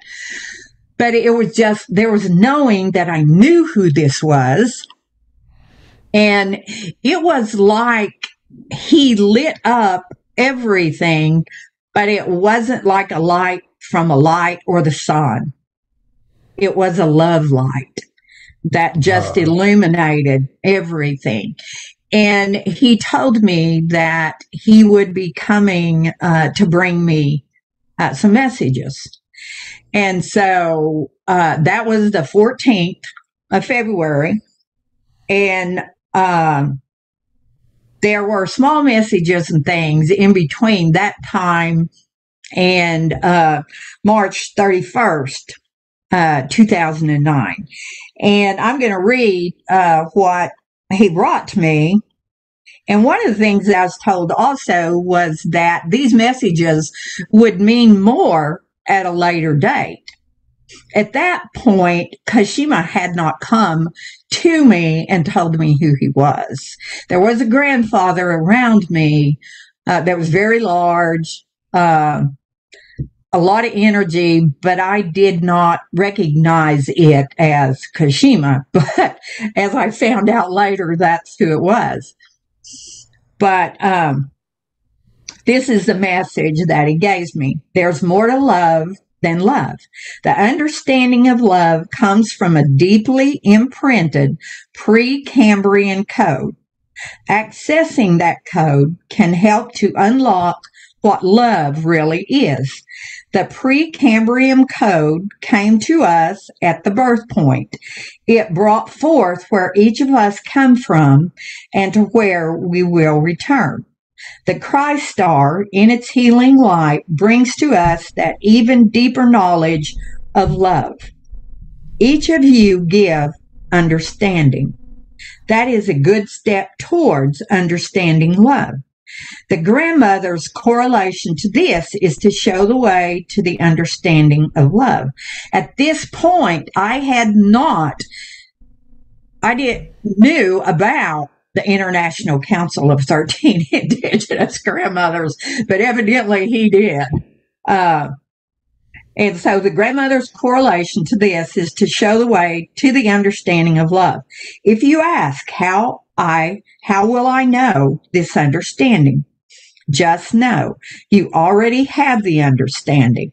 And then he said, uh, with great emphasis on it, stop now, feel it, taste it, hear it, smell it, see it with your heart. Feel the drops of understanding fall all around you, letting you be cleansed from all misunderstanding. Like standing in a gentle spring rain shower, you are cleansed of all misunderstanding. The grandmothers have spoken on many levels for the light beings and masters. They hold the earth mother's very breath in their hearts. Listen to them as they help to breathe this understanding to all who will stand for the breath of the earth mother and her children. Sacred things are seen and done, but it is when we see and do them truly within that they create understanding and true meaning. Share these things and give to each other. I wish you all to understand what love truly is. And I'm thankful for the grandmother's invitation to speak on this, Sanat Kumara. At that point, you know, I uh, had figured out that this was Sanat Kumara. So when this first message was given, I knew at that point who I was dealing with. And so within that, it talks a lot about where we are now. You know, what we're trying to do. We're trying to understand this love that is being shared with us by so many beings. This love that the Sasquatch uh, give to us, uh, the spirit all those beings that are here helping and supporting us uh, share this love with us. And you know that's that's an important thing. Um, through his teachings and his messages um, i've picked up a lot about myself and things that you know i needed myself. Um, I think I posted one of these in Pork and Beans uh, the other day. I posted this first one in there, and I'll share the others uh, that he. Well, what I like, what I liked about that message, lots of what I liked about that message is he just says stop and feel it. You know, this is process. This is where, eh, there's information, yes. and yes. then there's process. Process is something to do. Yes, it is. Like the Sufis have this prayer, not this this saying when they meet each other. They say, "Are you God in hiding?" Mm-hmm. And that's not to be answered. That means it's like saying, "Remember and feel right now that you are God in hiding." Right. And that's that's what this message was that you just read was. Yeah. You know, that there is this love that is home for us all, and if you just stop and breathe into it and feel it. You know, that's a process. Feel it, do it, experience it, look for it. And then that's yeah. the, that's the truth, and the truth is Mhm. what sheds all the misunderstanding. Oops. That's me. right. You know, so that was the thing. He wasn't just giving me a message. He expected me to to do you know what he was saying. You know, uh love's a verb. It's also a noun, but it's a verb. It's an active thing that grows in us and continues to be shared. And that's an important thing. And that's what, you know, he wanted me to do. And then when I shared the message, he wanted other people. I mean, we get so busy that we don't stop. And he intended for me to stop at that point and to let it permeate everything, I've not heard- just what I was hearing. I've never heard anybody describe it as love is a verb and whatever. Uh, that was real. I love that the way you said Yeah, that. it is. It's an it's an action word. Yeah, it doesn't just sit it. there. You know, I heard we, everything we you said, use by it. the way. I was just making myself some coffee. I heard what you said. so I wanted to ask you, um, and I'm sure you probably still have some more to say on this, but um, what, when did he come to you? What year? That was in 2009, Okay, February so the 14th, 2009. was that That's before the Valentine's 13 Day, grandmothers were formed? They no, I didn't know about them at Oh. this time. I I had heard, but I didn't. I wasn't involved with them. This was a precursor to one of the things happening that before I became, you know, being involved with them. And uh, the other grandmothers is I have two guides who are, and I call them my ancestor grandmothers. Um, and they've always been with me. But he was talking about all grandmothers and specifically for me, uh, that International Council of 13 Yeah. that I- you know they were coming and i'm sure that's why he told me that a lot of this would mean more to me at a later date Yeah, the reason I asked is it just caught my attention is because you know time is not linear for them. So he could have he would have No. known that they were coming even before they were formed, right? yeah But, yeah but they, it- but you they know were in this case. But yeah, yeah uh, you know so it, but it was the really the big beginning for them uh, 2009 was the big push. And then by august of 2009 i was in uh, lincoln what lincoln city oregon at grandmother aggie's gathering. Wow. and so, you know, it, it was all laid out there for me and to understand.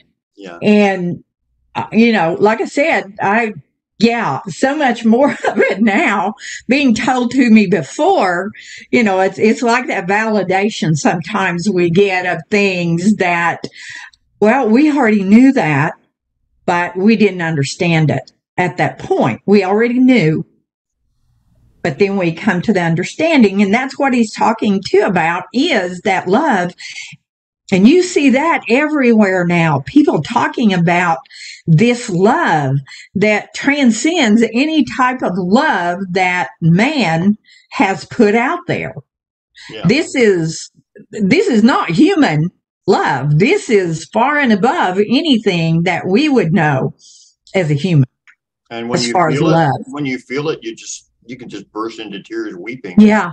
So- you can or you can you can laugh I, it, sometimes it gives me the giggles it's just so overpowering and everything within that love is peace Mhm. there is no chaos no discord no nothing but peace and, and that ever abiding eternal love Well, you that's know, given do you know who introduced me to that love? Do you know who specifically introduced me? It was actually uh, uh, Raja Say. hmm Yeah, I remember. I remember all the beginnings with Raj. That was that was really wonderful. I love this topic about love. Uh, uh, you know, that's one of the one of the things that I teach when I teach people is I've, at least has been stuck in my mind is that you don't have a choice. until you install a choice. And this That's right. kind, this kind of a choice is something that you have to choose over and over and over again. Oh, is now a time I can feel love? Oh, I can. Where's my heart? Where's my feeling now? You know, that's a choice. And uh, to me, that's that's the whole name of the game is to keep finding uh, that choice and and keep choosing, right? And little choosing is big choosing. You don't have to make a big deal out of it, but it's to continually choose to feel it. Yes. Because yeah. it, we already know it. Oh, we do. It's already implanted in us. It is a part of who we are. We are just having such a wonderful awakening now of so many people. Uh, you know, who, who talk about it openly. It's not like, I mean, I can walk up to anybody and tell them, you know, this love encompasses you. And as it encompasses me, it encompasses you. So you are loved and you are loved. You know, I, I tell people all the time, I am loved because I love because I love, I am loved.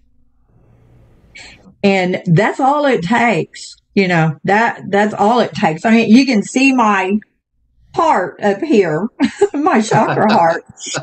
Part of my tie dye is because I get hearts all the time, uh, in, you know, strange ways. And most of the time, it's when I'm doing something that I love to do and this little heart will appear somehow. So, and that's for everybody. And when I started sharing those hearts on my Facebook page, other people would say, Oh, look, I found a heart today. And uh, then others. And I see more and more and more people now who are finding hearts. And I've been doing this forever and I love it. It's just the most wonderful thing. And, you know, I'll have people send me stuff in Messenger, a, a heart they've seen, and they said, This made me think of you. And that just overwhelms me because that's what I want people to, to see and to feel. You know, you don't have to just see it on me. I want you to feel it coming from me because it is, you know, it is what it is, and it, it's awesome, and it's for everybody. Yeah, yeah. What what other topics did you want to cover today? Well, we go I'm gonna, I mean, we're not going to run out of stuff to talk about, but you have a few things you want to you want to discuss, right? So. I want to uh, read this other thing he uh, sent me. This was May 31st, 2009. Now, I went to Grandmother Aggie's, I had already seen Grandmother Aggie in uh, Kansas before August. So I think it was in July when she came. I wasn't a part of bringing the grandmothers at that time because I really didn't know that much. But it was at that gathering that um, she stuck that finger in my face and said, "You got things to say. You best be saying them." and so, I, you know, I'm I'm trying to do that now. But this was something that he gave me, and I believe this was the last thing that he gave me uh, before the the grandmothers actually became a part and brought me to where I am today. Okay, th- this is interesting too because at a later date, I totally understood what he was talking about, and I know you guys will too. It says, speaking to those who have ears is easy. It's time to speak to those whose ears have been closed. There is a higher ascension message that must be told. Energies will no longer be subtle. They will shake us as we go about telling the stories that were given in Precambrian times. Now, this Precambrian times is when the soul sparks or the soul seeds were coming in. This humanness that was going to come in during uh, to the earth. If I tell you the purpose of work would be easy, I would not be completely telling you of the value. These Precambrian helpers are silent to those who have busy ears. Those of you who are ready and have been ready are hearing the ring of singing. When the singing calls, we must walk inside the singing. There's Whoa. A big part to that now vibrationally, what's going on in our world. And then he says, we will see stones begin to walk and then begin to dance and then begin to sing. Join them as they pull you into the womb of life. Stones now are one of the fastest growing thing that people are beginning to learn about. All the healing properties of the stones, the medicines, the teachings, all those things are part of it right now. Here, all understandings are connected as if a web of energy was flowing throughout the 13 points of initiation. In order to connect these points, we have to be willing to stand in their space to receive the understanding message. Rains will come in the form as crystals dropped from the heavens. These are gifts from the sister universes that exist as sure as breath. Guard and protect this energy that comes. The ancestor grandmothers are working with many worlds. On the surface, they teach us love and understanding, but at the core, they teach us wholeness. And that is what the pi symbol talks about too, that we see so much is that wholeness of something that's eternal, that's forever, that's never ending. And that pour yourself back into the heart, which is the womb of understanding. That puts a lot on that heart. And we scientists are finding out now that the heart has a brain of its own, which is just phenomenal when you think that the heart has a brain and it can think on its own. You know, we've always said, well, our brain is, you know, that's the key to who we are. No, it's not. The heart is the key that connects. And this said grandmother Ariat, who was a grandmother, is now coming and will give those who need courage and stamina her loving hand. I and many, many others stand with the grandmothers as the sacred keys will be used to open all. So he he was basically talking about what's going on right now, what we're finding out. Uh, I never heard anybody talk about the heart uh, having its own brain cells uh, back then. You know, this is something that, and this is science. This is not some woman, woo woman, or whatever you want to call her here talking about it. This is science. You can look it up, you know, and, and see this. Go listen to Gregg Braden or Joe Dispenza or so many of them Yeah, who talk is a about hundred it. hundred times more powerful than the mind and energetically. Yes. So more Yeah. electrical stuff going on, more neurons going on. And now what, you know, they they talk about this brain heart coherence. Oh my gosh. Putting that together is is phenomenal.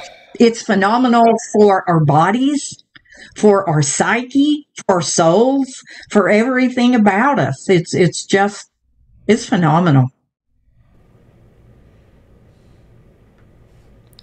And the Sasquatch and the elders and so many in the Star Nations, they're all willing to teach and show and demonstrate. You oh, know, Oh, they are.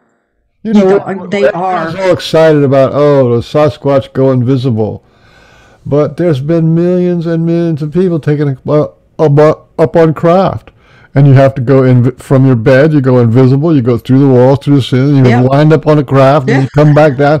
So it's like our bodies already know how to do it. By and there, there at least seven exactly. million people. At, least oh, yeah. seven yeah. million people since the 1950s. We're being taught all this stuff. Yeah. yeah, we are. You know, I worked with people for a while who were being what they call abducted taken and had things being done to them.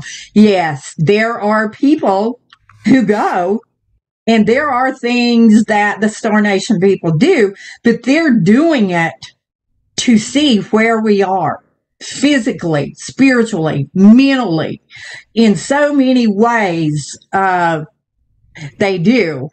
My only thing with that is the misunderstanding it creates with the person. But working with those people who had a bad experience, uh, they come to understand this wasn't so bad. It was just my perception because I didn't understand. And um, for the Star Nation being to choose who they do, they know what they're doing. I don't. I don't question that at all. Um, I, I know it's for our higher power and good and, and to help us in any way that they they possibly can. So yeah, it, I mean it's happening day after day after day. It's it's it's happening. It's a fact of life, which is it's really cool. And then you've got all the near death experience people, which is also in the mm-hmm. multi millions because you know, somebody dies on an operating table every day and is brought back every day. It's a day after, and it's like there's hundreds and hundreds of hospitals across the United States and across the world. And so these people, they leave their body, they go up and they see this divine light and they talk to God or they talk to Jesus or mm-hmm. somebody, mm-hmm. and then they then they come back and go, uh, uh, you know, and then and then they write a book about it and go on, on TV shows and stuff. Yeah. And, and yeah. you know, and that's what a teaching. I'm still getting teachings from, you know, and I've watched a lot of those uh, near death experience things.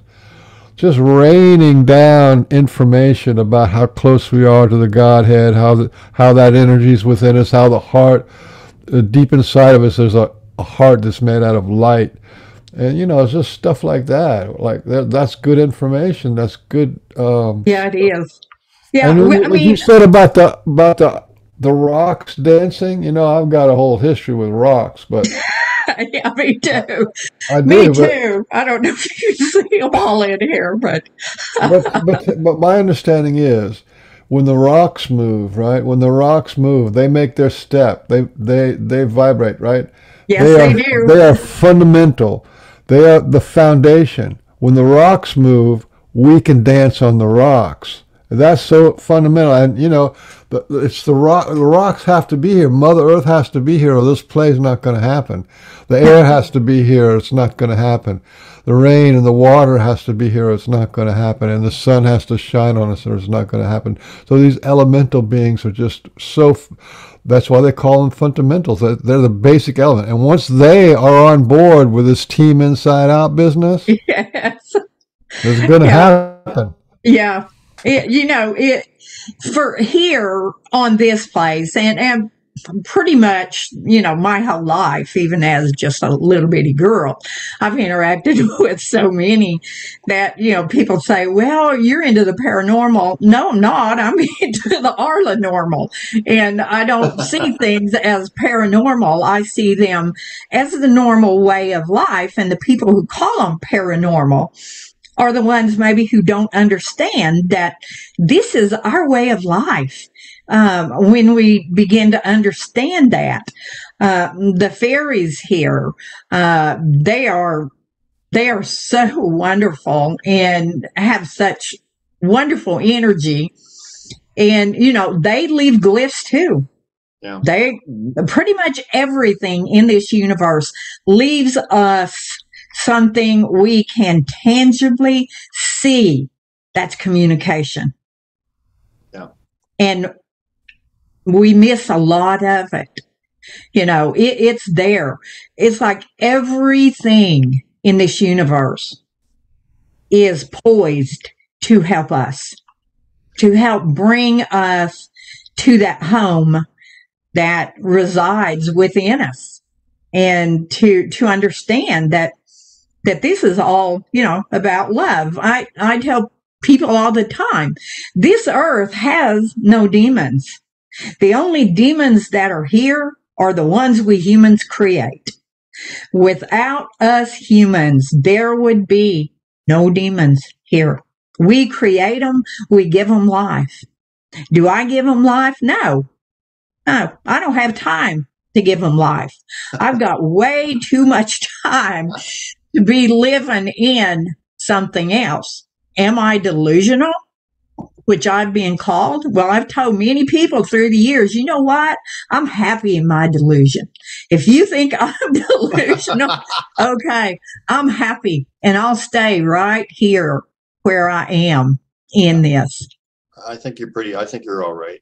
yeah, I wanted to ask you something. Um, we're talking about downloads. You and I, and I'm sure Beans and many people have had downloads. But do you think everybody gets downloads, but some people just don't recognize I, it?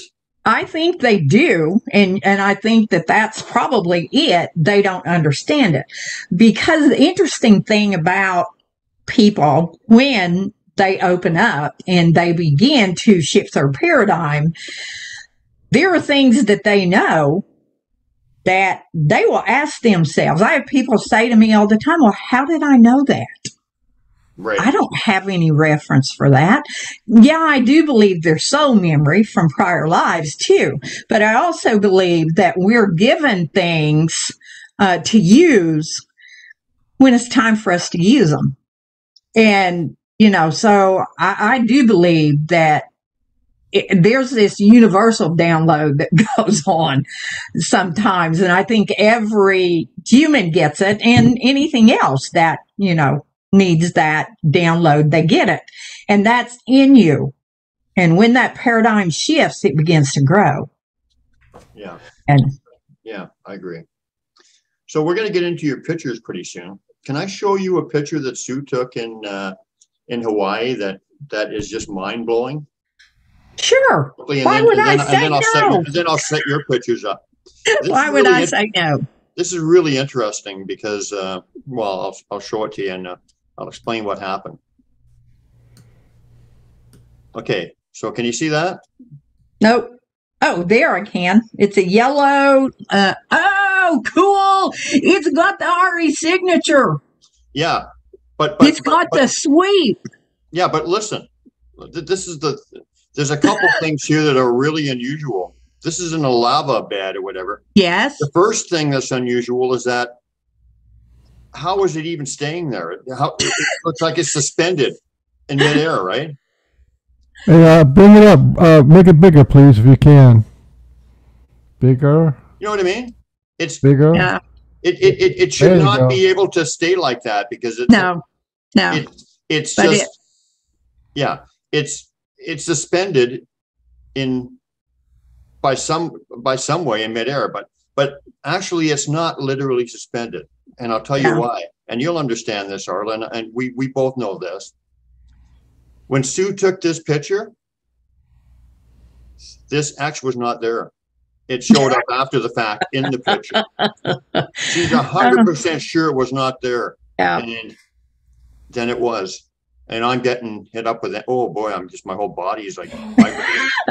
yep. Uh, yeah, that's cool. But you know how Ari does his little sweeping uh, thing on the end of his name or his signature, and something else I was thinking about in uh, that we've experienced uh, as far as uh, the exoglyphs are concerned is that being in those and us not realizing that it was in there. And I didn't realize it until this morning when I was looking at one and I went, oh my gosh, Ari got his two cents worth in. Yeah. you know, yeah, but so. But, but this, this literally, that's really cool. literally was not in the picture when she took it. They super, it. Or they put it there after the fact, which I find just amazing. Yep. And you know, we we've talked a lot on this show, Arlen. You you know this too. You know, the linear time, everything, Yeah. know, past, present, future is experienced in, in the now.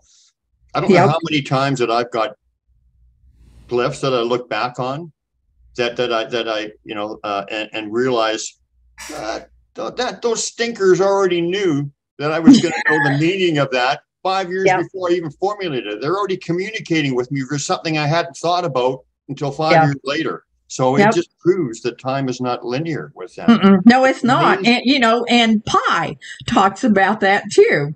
Those pi symbols that they leave, it, that talks about that too. We are in a circle. We Yeah. are not linear. we just keep going around and around and around, no beginning, no ending, just eternal. Yeah. And, and you know, uh, we'll get to your pictures in a second, but just talking about the X's, do you remember the two? I can think of two Okay. really neat Uh, experiences you had. No, the just X, the X that fell out of the tree. Yeah, exactly. Do you remember that when we were Sue and I were sitting across from you and we heard a big Yep. crap snap Yep. and you look And down a- and all of a sudden there's an X right on your pant leg? Yep. Like, and one of those uh, of that little branch had fallen and it touched my leg and then there was that x and if you go back and look at that picture it's got that little swirl thing on the end of it yeah. and then the other one was when we were at the stump it, you and Sue had walked up. I'd been there walking around, and you and Sue walked up and sat in front of me. Well, I stood up uh, to, uh, to take my jacket off and lay my jacket on the ground right there behind me, which was less than three feet from me, and um, sat back down. And then I got back up and I turned and looked at my jacket, and there was that same kind of X Yeah. laying On- on my jacket. Now, you guys were looking at me towards where my jacket was, and I was sitting right there by the jacket, but I never heard anything or saw anything until, you know, I stood up and looked at my jacket, and it, there it was. Yeah. So, Isn't that, that just makes me laugh, this picture. Like, yeah. that's, You that's, know, and- Ari, that's, that's Ari written all over that. Yeah. That and that's love and connection and family and thank you. And so many things are wrapped up in the X. It's not about keep out. It's about let it all in and, you know, greet each other and be thankful for each other. Yeah. And you know what I'm getting from that is that uh, Ari is telling Susan in this picture that you can be anywhere in the world. You Yeah. can be anywhere, and we, Yeah. we are there right with you. And and I'll, That's got right. confirmation again. He's he's really Ari's been he's really He's been- busy. He's he's involved in this he's involved in this show big time. Yes, he is. So take it away, Beans. Get a get a query Our going, or whatever, and then I'm gonna go, I'm gonna put Our your other paths other cross. pictures To me, that on. that's what when you see this little X's like that. Now I don't know what the giant ones mean, but when I see the small, smaller size, it just means, "Hi, our paths cross." You know, our paths Yeah. are, are cross. We cross. It's a here- We cross know. here today, right? This Yep. is where our paths cross today. So that's Yep. that's pretty powerful, you know. Just to say, Yes. just, just to have these invisible beings, uh, the masters of the forest, communicate with us. I think that's just, Yep. you know, I don't know. It's very so, so special. So uh, it's just near holy. It's natural, but it's near Yep. holy. It You know is. beauty That, of it is too. that's for sure. Yep. Do the what? Beauty of, the beauty of it is, is that no matter how many times you see this, and we've all seen this kind of stuff so many times, so we know it for what it is, but it never, ever ceases to just delight me, amaze me, and I know. it's just know. always magical every time it happens, and and gratitude with with with it happening, right? Yeah. Oh, yeah. Definitely gratitude. Yeah. You want your other pictures up now? Should we get into them? Uh, yeah. I'm going to have to go here in just a little bit, but we can run through those pictures real quick. Okay. Ah, light language. You want to talk This- about them? This is a communication of light language. And we're seeing this now. We're going to see a lot more of it. Make it Um, bigger, Brian. That's as big as I can get this one. Doesn't go up bigger? Oh, I see. Okay. No, it does not. See? So, so you know, and and my thing in sharing this about the light language, like I said earlier, uh, we're having this happen through so many different modalities. I mean, through singing, through uh, chanting. Uh, through messages, uh, literal messages being given uh, through star nations, uh, through the Sasquatch people, uh, the fairies, everybody's involved in this light language that they're bringing. We are such a communication oriented species that they're going to use everything they can uh, to help us. Now, these are also energetic, uh, pretty much purely energetic messages. So they are not only a message uh, for us to see, they're a message for us to feel. What's your definition of light language? Exactly. Light language is love.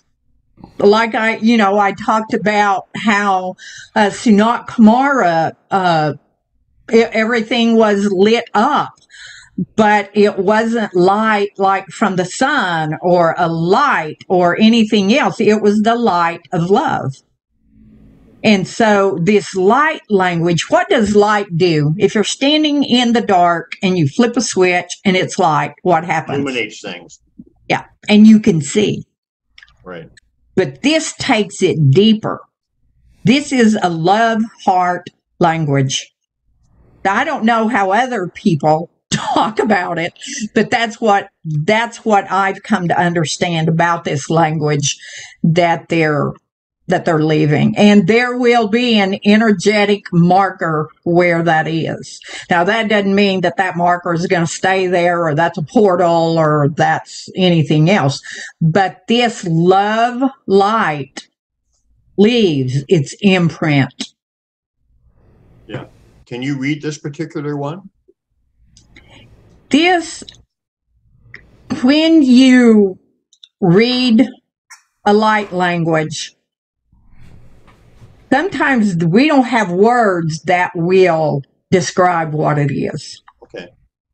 Understood. So, like, you know, some of the glyphs that you get, there's really not a description for you to tell somebody exactly what it means, but you know it.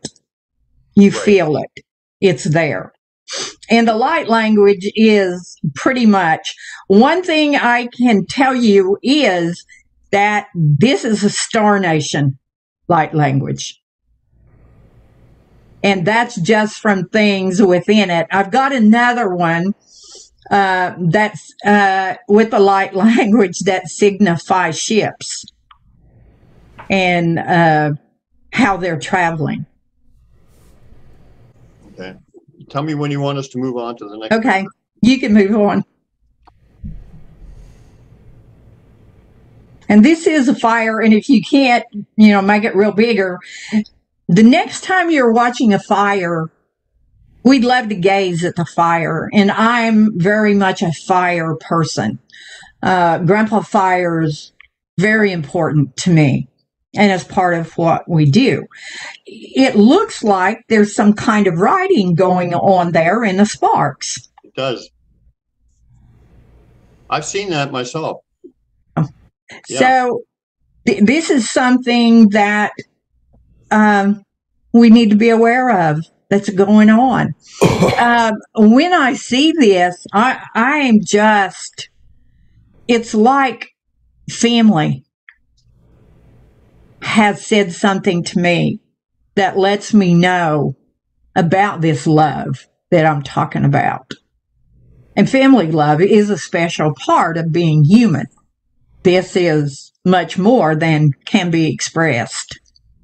But um, if people will start watching, you know, I know with the glyphs, when I first started talking about them, there wasn't much said about glyphs. I saw the first one that I knew was communication was in 1999. but there wasn't really a lot of people talking about them. There were some, but uh, they were mostly from the Star Nation at that point in time, from what I understood. So that's just a, kind of a heads up for people to be aware. Yeah. Okay. Yeah. Oh, okay, you're just circling. Yeah. Yeah, I mean, I can see a lot of the symbols I Yeah. recognize in there. Mm-hmm. There's the uh, fish symbol that. Yeah. I- And and you Sue and I, although I, although I have to clarify that these glyphs mean different things to different people. That's right. That's right. There's But it's still a, you know what it means to one person that energy impacts everything so whether it's the exact message for someone else you know that's not something that i concern myself about No, they will they will get yeah they will get what they need i'm, I'm assured of that okay Oh, okay. I'll bring this one down a little bit. Okay. This one's pretty detailed. Um, and you you can see a lot in there. Uh, if you know anything about symbols, you will see things in there that uh, mean different things. I'm not going to go into you know what all this meaning has, but um, Well, once again, it would be it would be for you, so it's personal. Right. So explaining it And- to other people is kind of like Yeah. And Right. and it may not be for me. It may be for the area. And one of the things that I know that the Star Nation people are doing is working in particular areas. Uh, and um, these uh, communications from them are this physical thing that say, hey, we're here, we're helping the best way we can. And that understanding comes to each person by where they are at that time. right, So, okay. exactly. This is underwater, literally in the water, on the bottom of this, not floating on the top. It's laying on the bottom. This is a big water barrel I have. Yeah, I've got an exceptional one that's in the water, but of course Oh. I won't be able to find it now. But it's it's really detailed and it's it's actually in in the woods under in a creek, but a shallow Yeah. shallow Yeah. thing. There's a there's a glyph in there, and it yeah, it's amazing. Yeah, So, is. Is this Sasquatch made or or Star Nation's made? You you think? No, I think this is Star Nation because this has some elements of them. And when we see that one, you'll understand what I mean by that. You know, I'm not trying to be suspicious or secretive or anything, but I want people to look at them and to begin to uh, try to find out where their understanding is. Yeah. And, you know, from my experiences, when I come to a decision about what a glyph means between me and the clan of Ari, hmm they start communicating with me right away according to that meaning. And in fact, like I Yeah. said earlier, have already been a, communicating Yeah. with me according to that meaning years prior. So, Oh, yeah, exactly. so people have to come up with their own meanings for them. You know, so, yeah, somewhat. We know there are universal things, but there are also things that are personal. Okay. If you see the pyramid type things, arrows, whatever you want to call them, there are two These of them there. Yep.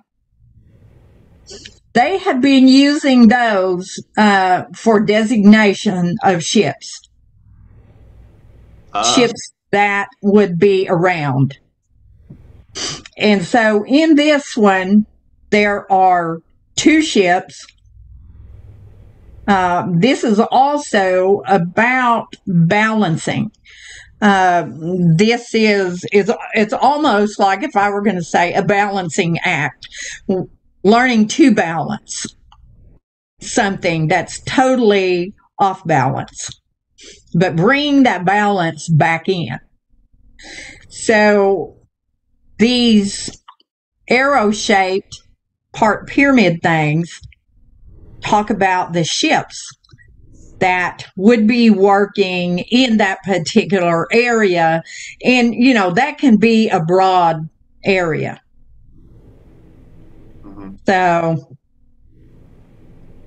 Once again, though, like you know, uh, Mhm. to clarify yeah, because for, yeah, because for me, the open triangle is is little Bud's signature.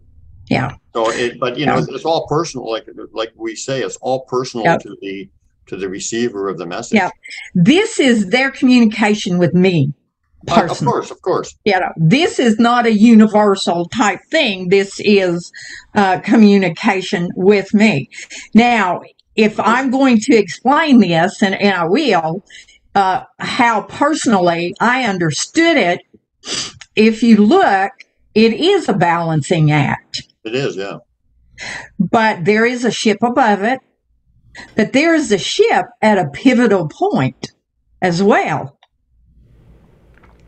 Yeah. where that structure could come down from one side because there is more on that side than the other. Yeah. So that tells me that they are there in the position of helping us to not only bring ourselves back into balance, but our earth back into balance, uh, uh, life back into balance. Yeah. And so, you know, this is a purely personal one. This isn't a, a universal energy signature or anything else because I had been uh, thinking about balance a lot and coming back into balance uh, with what I'm what I'm doing and and what's being laid before me to do. So when you when you got this, you were thinking about balance. Yeah, how do I balance what it is with what I know I'm supposed to do and this this life I live? Well, how typical that you're thinking about something and then they give you a message. Oh yeah. Yeah, and, you know, and and that's universal whether it comes from any of the elementals or Grandpa Fire or Star Nation people or whomever. I like you know. the little. I like this part down here, and I like this over here. Yeah. Kind of interesting. Yeah. Can I uh, add add something? Sure. Uh, if you if you if you say that little uh the the arrow at the top is a, is a craft, and the arrow under the left side is a craft. Then there's also an arrow down here with this little tripod looking thing. Yeah. If you call that an arrow, then what they're really saying is all this comes from the star nations. It does. It, I mean, for me, this has Star Nation written all over it. But then that's a communication that I've had. Um, and, and yeah, you know, it, it's very much, very much that. Are there any particular Star Nations races that communicate with you more than others that you're familiar with, Arla? No, I, I don't, you know, I've, uh, through the years, you know, there have been uh, different ones, but um, this is a, a, a multi universal thing. This is lots of Star Nation beings. This is not just from one star or whatever. This is a multi universal uh, thing that's going on. Of course, yeah. Are we done with this one? Yep, let's go to the next one. Uh, hope you can do that. Um, this one is, and did the other one that I sent with this one that's not marked, but that one has marking where the writing is. This made me think of hieroglyphics or something like that, but this is Grandpa Fire. It had fire. Um, every morning for several days, and then this one uh, came up. I, for me, Grandpa Fire is alive. It's a relative, you know. It's not just something that happens when you strike a match or whatever to something. Grandpa Fire is its own being and carries that energy as well. Yeah. Now, there, uh, that picture you can't see it, but there's in the the next picture. I think you'll be able to maybe to see it. I, you know, I see the A here. Yeah, Yeah. yeah, that was in the fire, and it's not burning up. It's there with the writing. Yeah. Yeah. So for me, A is my attention thing. Pay attention. We're talking to you. You know, for you, it's Ari. But the A is what they used in the very beginning to get my attention.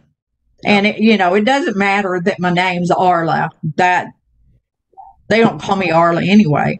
So, um, you know that that's not the main thing the main thing is that a symbol has a lot to it Well, I know one of them calls you little one.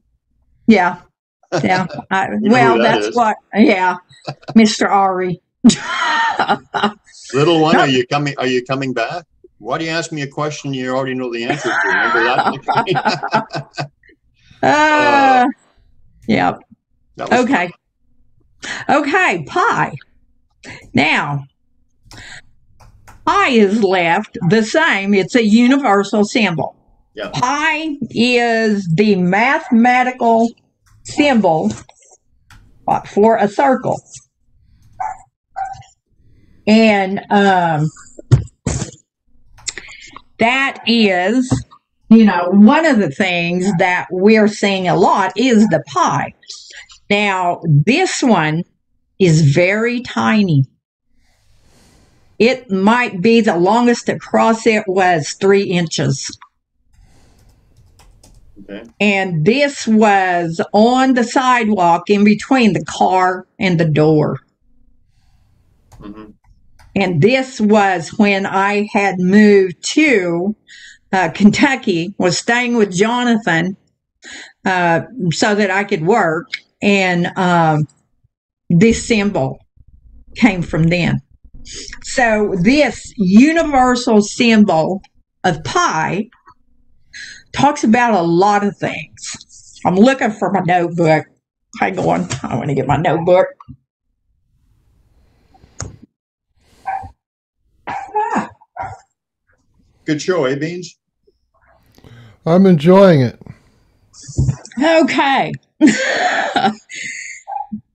it is that it's that mathematical symbol or term for the circumference of a circle. We've already talked about the circle, and that's eternal. But pi talks about being infinitely whole. The beginning, the ending, because there is no beginning or ending, they are the same. And so when we see that pi signal, uh, we're talking a lot of about a lot of different things about uh, even when you're having a hard time sometimes and you're given a pi symbol, it's about that eternal wholeness of the universe. It's about uh, on a much deeper level, but that things are okay. You know, it's, um, I think that through trying to understand the pi symbol, we truly begin to understand the divine. And the divine is who we are and who we are not. It's, it's everything. And so the pi symbol is so much more than just a mathematical symbol for the circumference of a circle. Would you say, um, you said the beginning and the end are the same. Would you say that that is related to time, obviously, right? Falls To that? everything, everything, everything will be and everything was. Yeah, and it's all happening at the same time. Is that correct? That's really cool. Huh? Yeah. okay. Well, I mean, so, I mean, because Ari told me himself in in a, in a uh, and he actually told another lady who was on our show, and it was interesting because he told her the same thing. It's a lady who actually drew the design that you uh, put on my shirt. Mhm. Already told her, and I already knew this, and when her confirming it was awesome. He told her, I am aware of every incarnation I've ever had and every life I've ever had in the now.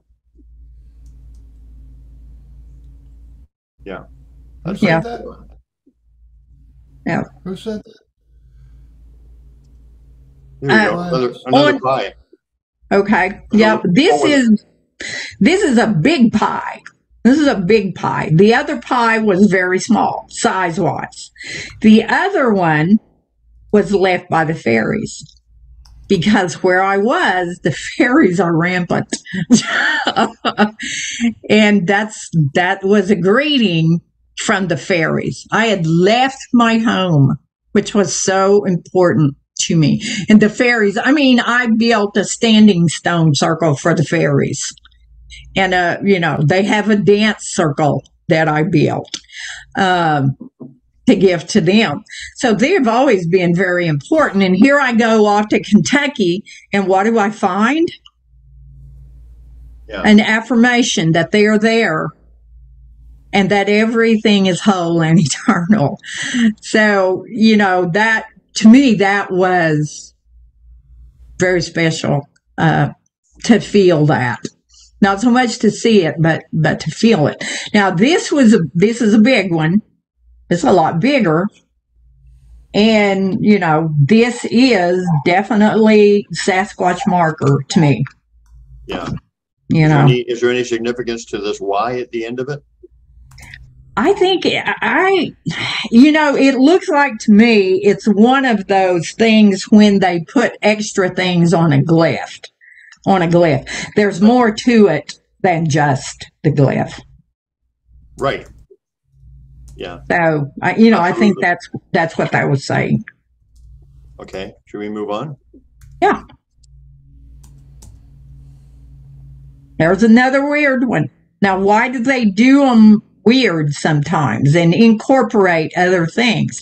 That's because it talks about the whole, everything. Yeah, that's a different one for sure. Yep. And see, there's my foot right there down in the corner. so that gives you a reference.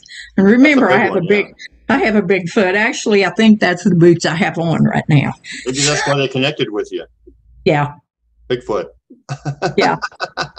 I'm sure. I'm sure I have big hands and big feet and everything else for a reason, but it's okay. okay. Okay. This is just uh, something that they did when I moved back to the cabin. I'd been gone for a while. And I, after the wreck and I started healing, I came back to the cabin.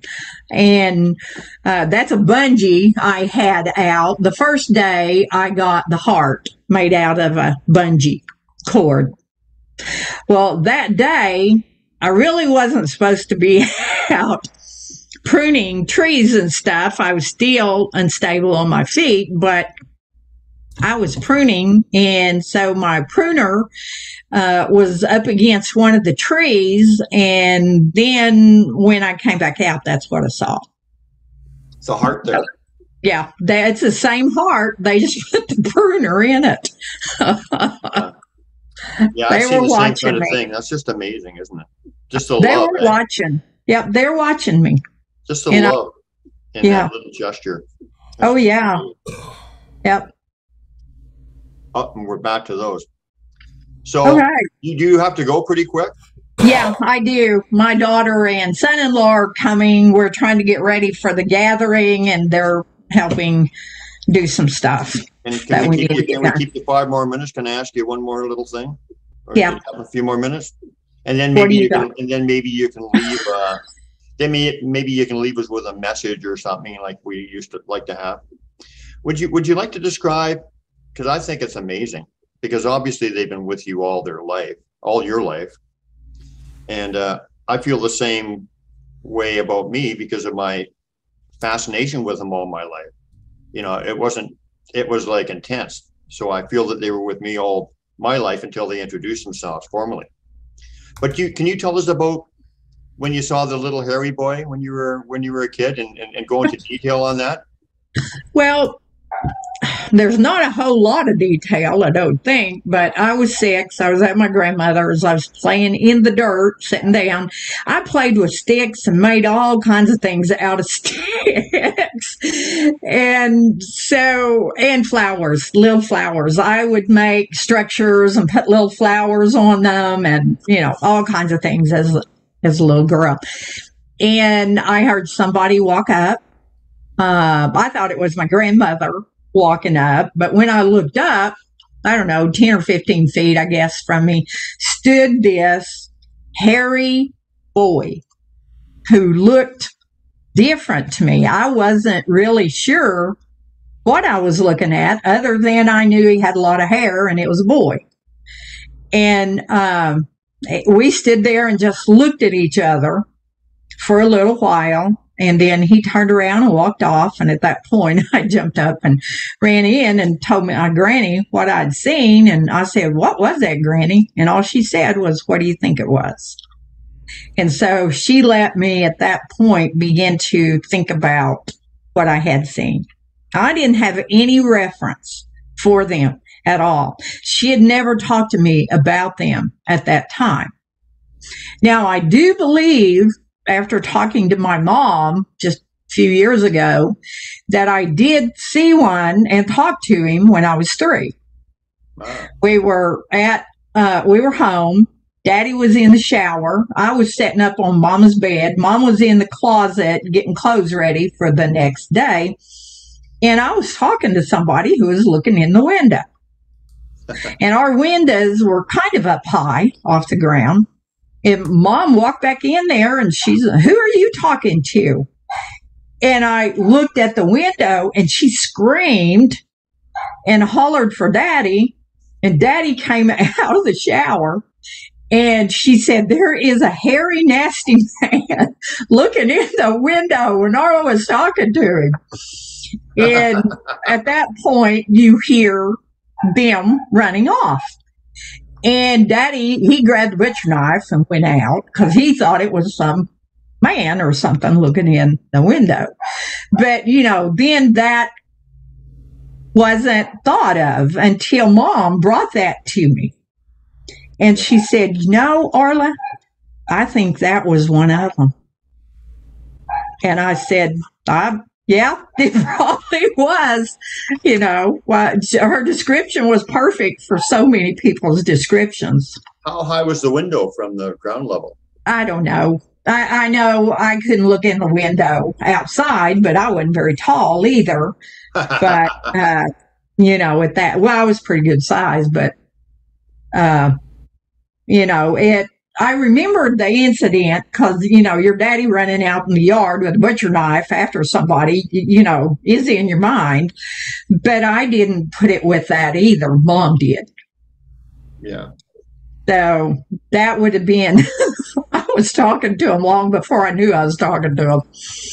So, but that's basically, you know, it's pretty simple. It's not, it's just something that happened.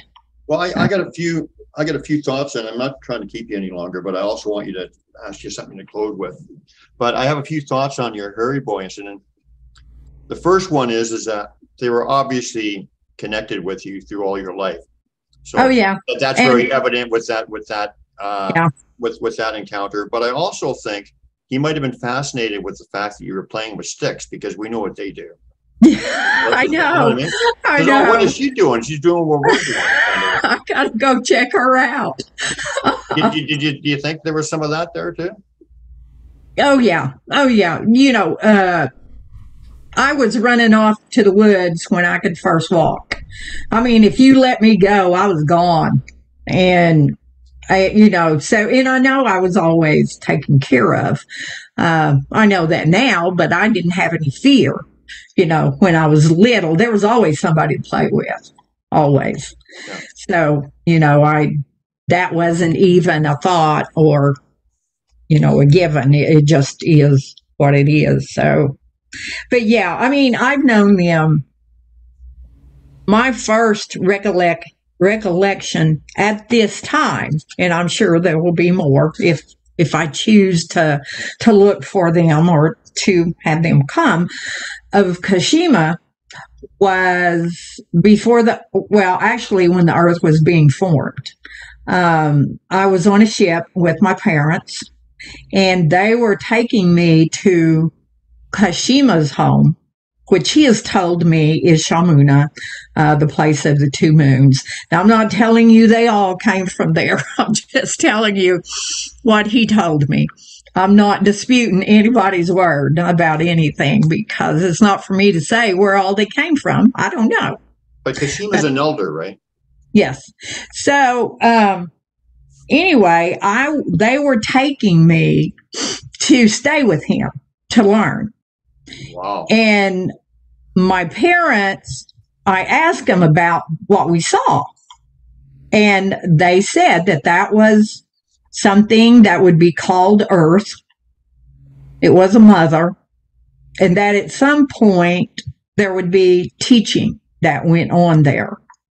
Now, what I remember from seeing it, there was not a huge amount of landmass. There was landmass, but there was water. But there's still more water than there is landmass. So, but that that's my first active recollection of knowing Kashima. And Uh, I, my mind's blown because uh, one of my memories is watching the Earth cool down while it was. oh, that's hot. that's awesome. That's and, awesome. And it, was, and, and it uh, I was not alone. It was like uh, the feeling was this. It was like going on a school outing to see something really cool. And there was literally millions of people, million, millions of beings, because like, cause like everybody knew that this was going to be a special Yeah, planet, yeah. a home for millions. yeah. Oh, Yeah. Yeah. That's awesome because I knew, you know, I was told that I would be there and Kashima's people would be there as well. And, you know, and we would be learning, which my whole life and all the lives that I remember have been about learning something, which is what we do each time we come. We learn something else but that's cool. I, I like that, Michael. I like hearing that too. do you think? Uh, sorry, Mike. You, you, Go you ahead. saw you saw her when she has, had water. I saw her when she was still. She looked like she was lava. You could see the hotness. Yeah. Yeah, that it was already uh, But forming she was the not as, she was not as big. She was not as big as she is now. She was just about this little bit bigger, maybe than the moon. Uh, well, I'm I'm not sure how big she was. I don't have a reference for that. Um, but you know, I, I know what what she looked like at at that point. point, and you know, the, this Precambrian thing to me is that's like the birth point. That's when all of the rock people began to um, document within themselves what was happening there on the earth because the stone people hold all the cellular memory for the earth as it was being formed and down through the times.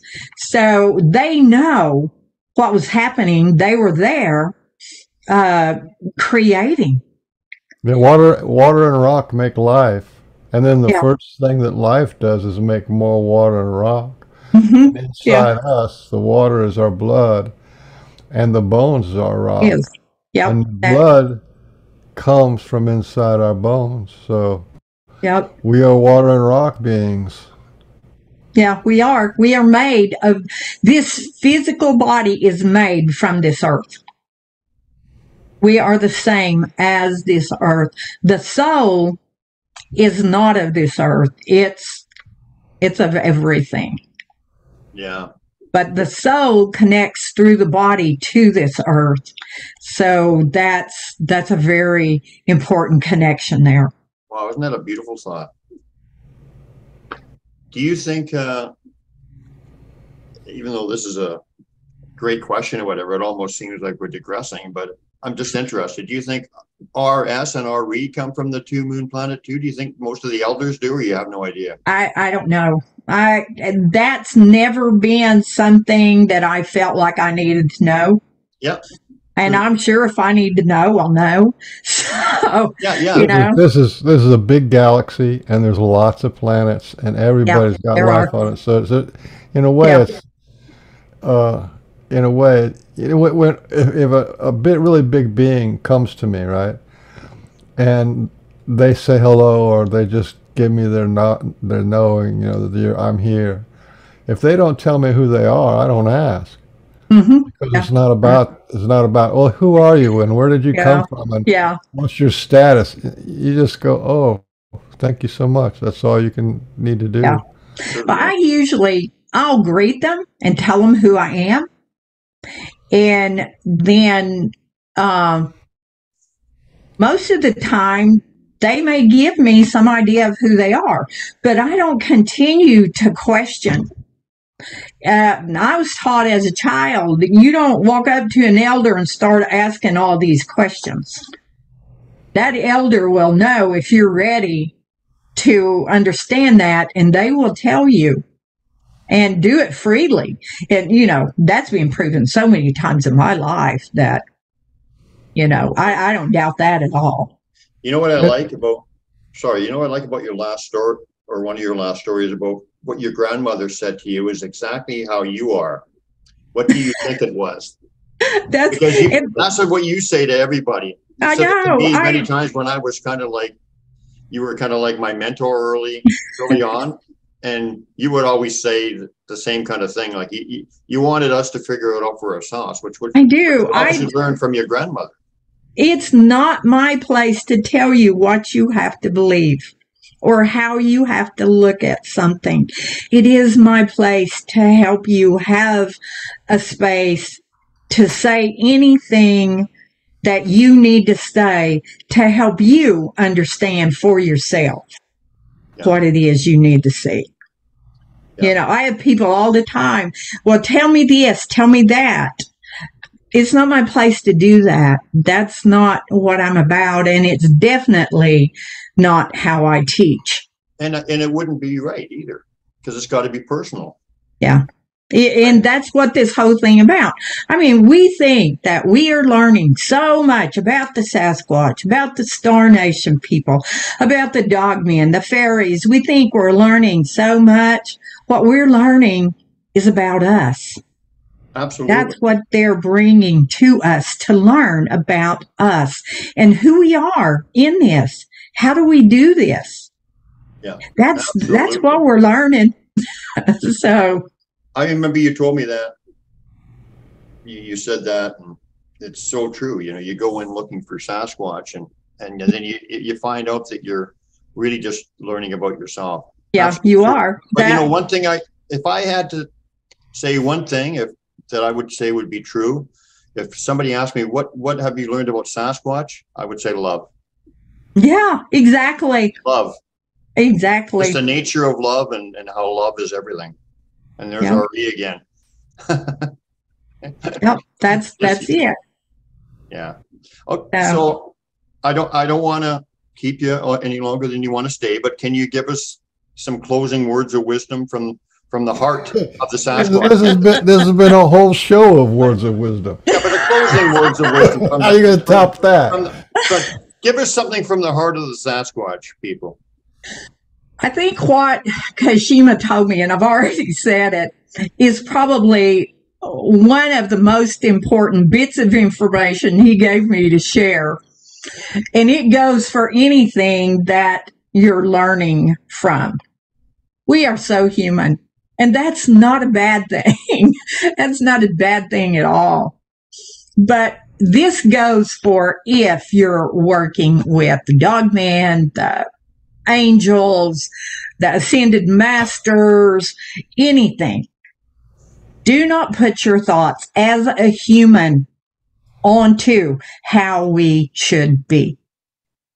Keep your human thoughts about it to yourself. Open up your heart because that's universal. That heart may be in a human body, but it is connected to that universal soul of love. It is that spark. Yeah. And that's what we're here to learn. How to be the best human we can be because that brings us to that love. Yeah. Now That Yeah. Yes, absolutely. So is this a human ego thing or is there really something to this? Because I keep hearing that humans are very, very special. we are special. But what makes us special? Everybody's special. O- okay, but yeah, but no, I Everything didn't watch it. is special. Everything is special. The specialness for us is that we chose to come here to do this. we chose to come for our soul growth. I could be off somewhere else doing something much easier than what I've chosen to do here. There are plenty places to go besides the earth. But I've chosen, and I've continued to choose to be here, to be this human, sharing that love that so many of us are coming to understand now. Yeah. And that that's why I choose to continue to do what it is I'm doing. You know, if I come back again, it's cause I chose to come back again. Yeah. Oh. Yeah. Beautiful. You have anything to close with, Mr. Beans, or Yeah, you know, uh, I heard this guru was talking the other day. He said uh, about you know what you you know what you're doing with your life. What are you doing with your life? And he said, if you can, he said you you can feel that you're bigger than the universe, and you can feel your immortality. You've been here forever and will be here forever. And then if you can feel an engagement and involvement with all of creation, of all of this earth. He said, then you've had a good day. And that's what makes us special. You know what I mean? We are infinite and immortal and we're human. Yeah, Uh, we're we're still here. we're still here, and we don't have to be. We re- I don't believe that we have to be here. I believe it's fully a choice to uh, for our soul growth, and you know that that gets to be something that that soul needs is to be there in service of helping people to uh, connect with this love and to and to find that universal feeling. So, Yeah. I've enjoyed it more than I've enjoyed a podcast in a long time. oh, you enjoyed this one? Yeah, I did. Yeah, we always seem to have a good one, and I guess because we put good energy out or whatever. That's right. That's right. Yeah, And, I uh, am going to have to leave. I have. And there's another reason. I mean, when our when Ari Okay, reascension- bye. Listen, don't be a stranger. You, I think you should have a schedule every uh, every time y the whim comes. That should be the schedule. I'm ready.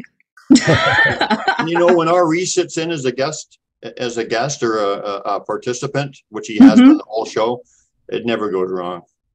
Oh. Well, nothing really goes wrong. It's just how we deal with it and how we Uh, understand. yeah, of course, but but yeah, Oh, but you know, I I- love the guy. I we love got, the we got guy. almost so- 50 comments, and a lot of people, everybody loves you. So I think that's your, well, that's because I love them. See? It's exciting and new. Uh, Come aboard. it's awesome. It's We're awesome. expecting you. And now we, we've had our uh, adieu. So bye, guys. I'm sending Bye-bye, you Arla. Thank you so much. of love and peace. Yeah. Bye bye. Bye.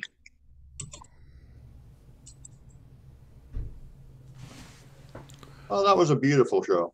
yeah, and you didn't get a chance to give your uh, your your pitch. Well, I'll do it right now. In the next show. Well, we're still recording. Oh, okay.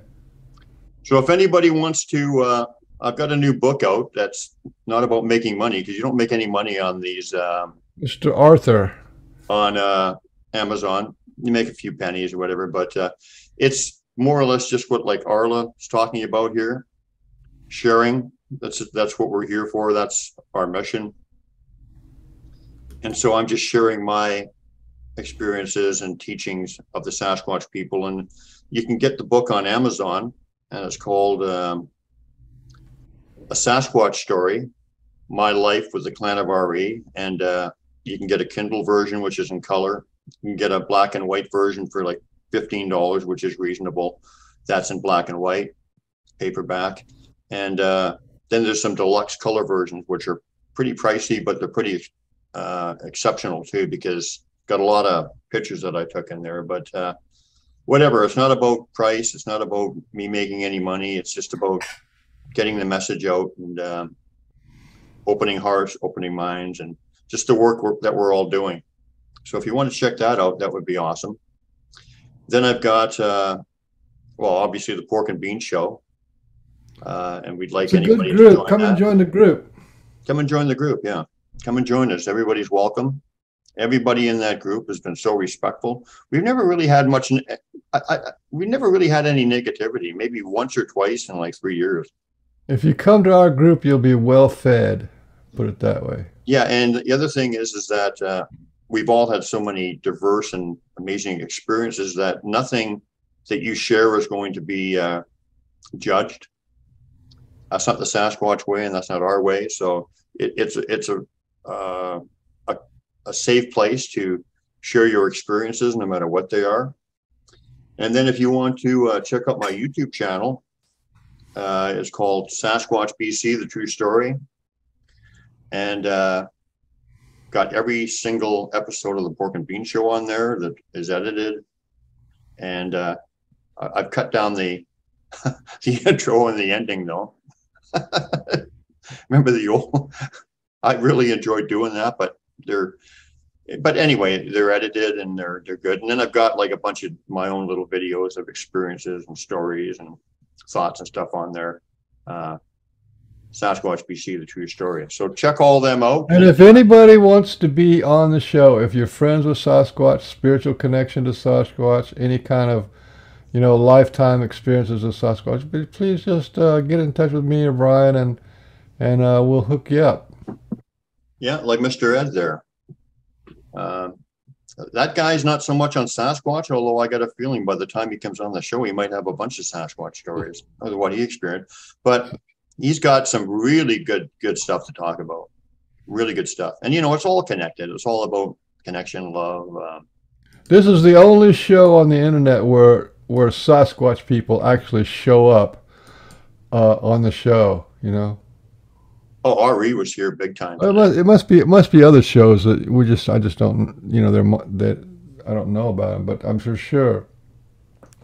Well, I they show up every show, all the time, and I. I was feeling o- other Sasquatch around today, and um, Arla has her Sasquatch people, and it's uh, just amazing, really.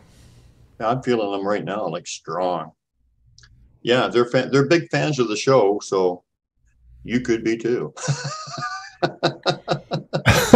yeah, the other thing is we- we're we're trying to move into having more um, more interactions with our uh, group members, so that we you don't have to be like a big shot or write a book or anything. You can just talk about why you like Sasquatch or how you got started.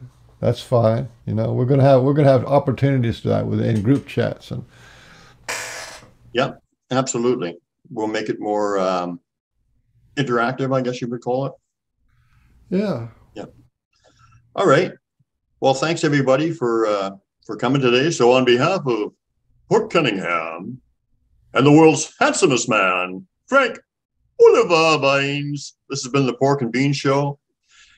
Thanks to our special guest Arla and everybody that popped in. Uh, I really enjoyed uh, Mr. Ed's uh, story, and all of you for taking the time to to pop in, whether you talk to us or not. Just being we got some great space. comment. We got some great comments. A lot of people who are in the in the in the uh, chat or or um, you know, sh- actually showed up on the show. Yeah. So thanks everybody, and uh, we will see you again next time. And I think next time we have Toby or Tobe. No, he doesn't like Toby anymore. Tobe Johnson. He's also an author, and he's had some amazing experiences, and he's always an entertaining guy. So That's going to be an evening show for us. yeah, it's going to be. Uh, October 3rd, I think it is, at 6 p.m. Pacific time, which will be like 9 p.m. your time. I got another show to do that day too. Not not at that time, is it?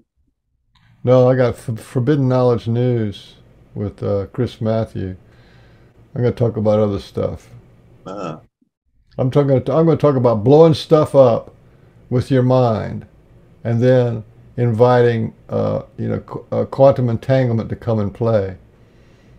that sounds like uh, quite the topic. Yeah, it's one of my favorite. In other words, it, it's you know time to in, get Kali going in your life. Alrighty. Well, maybe we can have Kali on the show one time. That would be nice. That'd be awesome. That's everybody. That's about what where where, where uh, Arla saw that, that her friend, who was a devotee of Kali, levitate off the off the ground. There's a lot of stories around what's going on with Kali, and we're in the end of the end of Kali Yuga. All right, bye everybody. Thanks for showing up. See you next time. Thanks a lot. Okay, I'm gonna go too. I gotta eat something. But uh see you, Mr. Beans.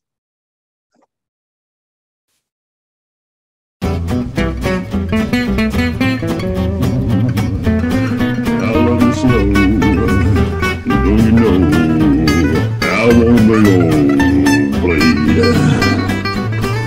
the buttons coming down.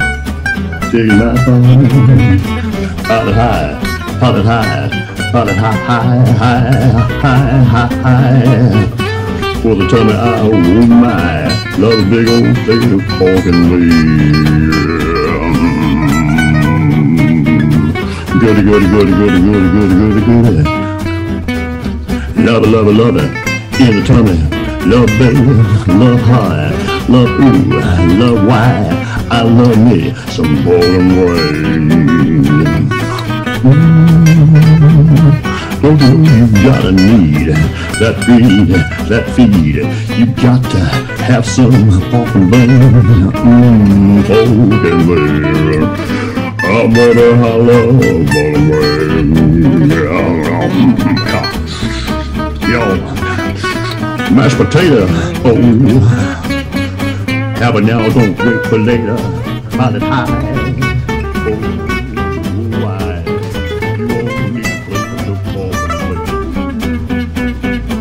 Oh, soon.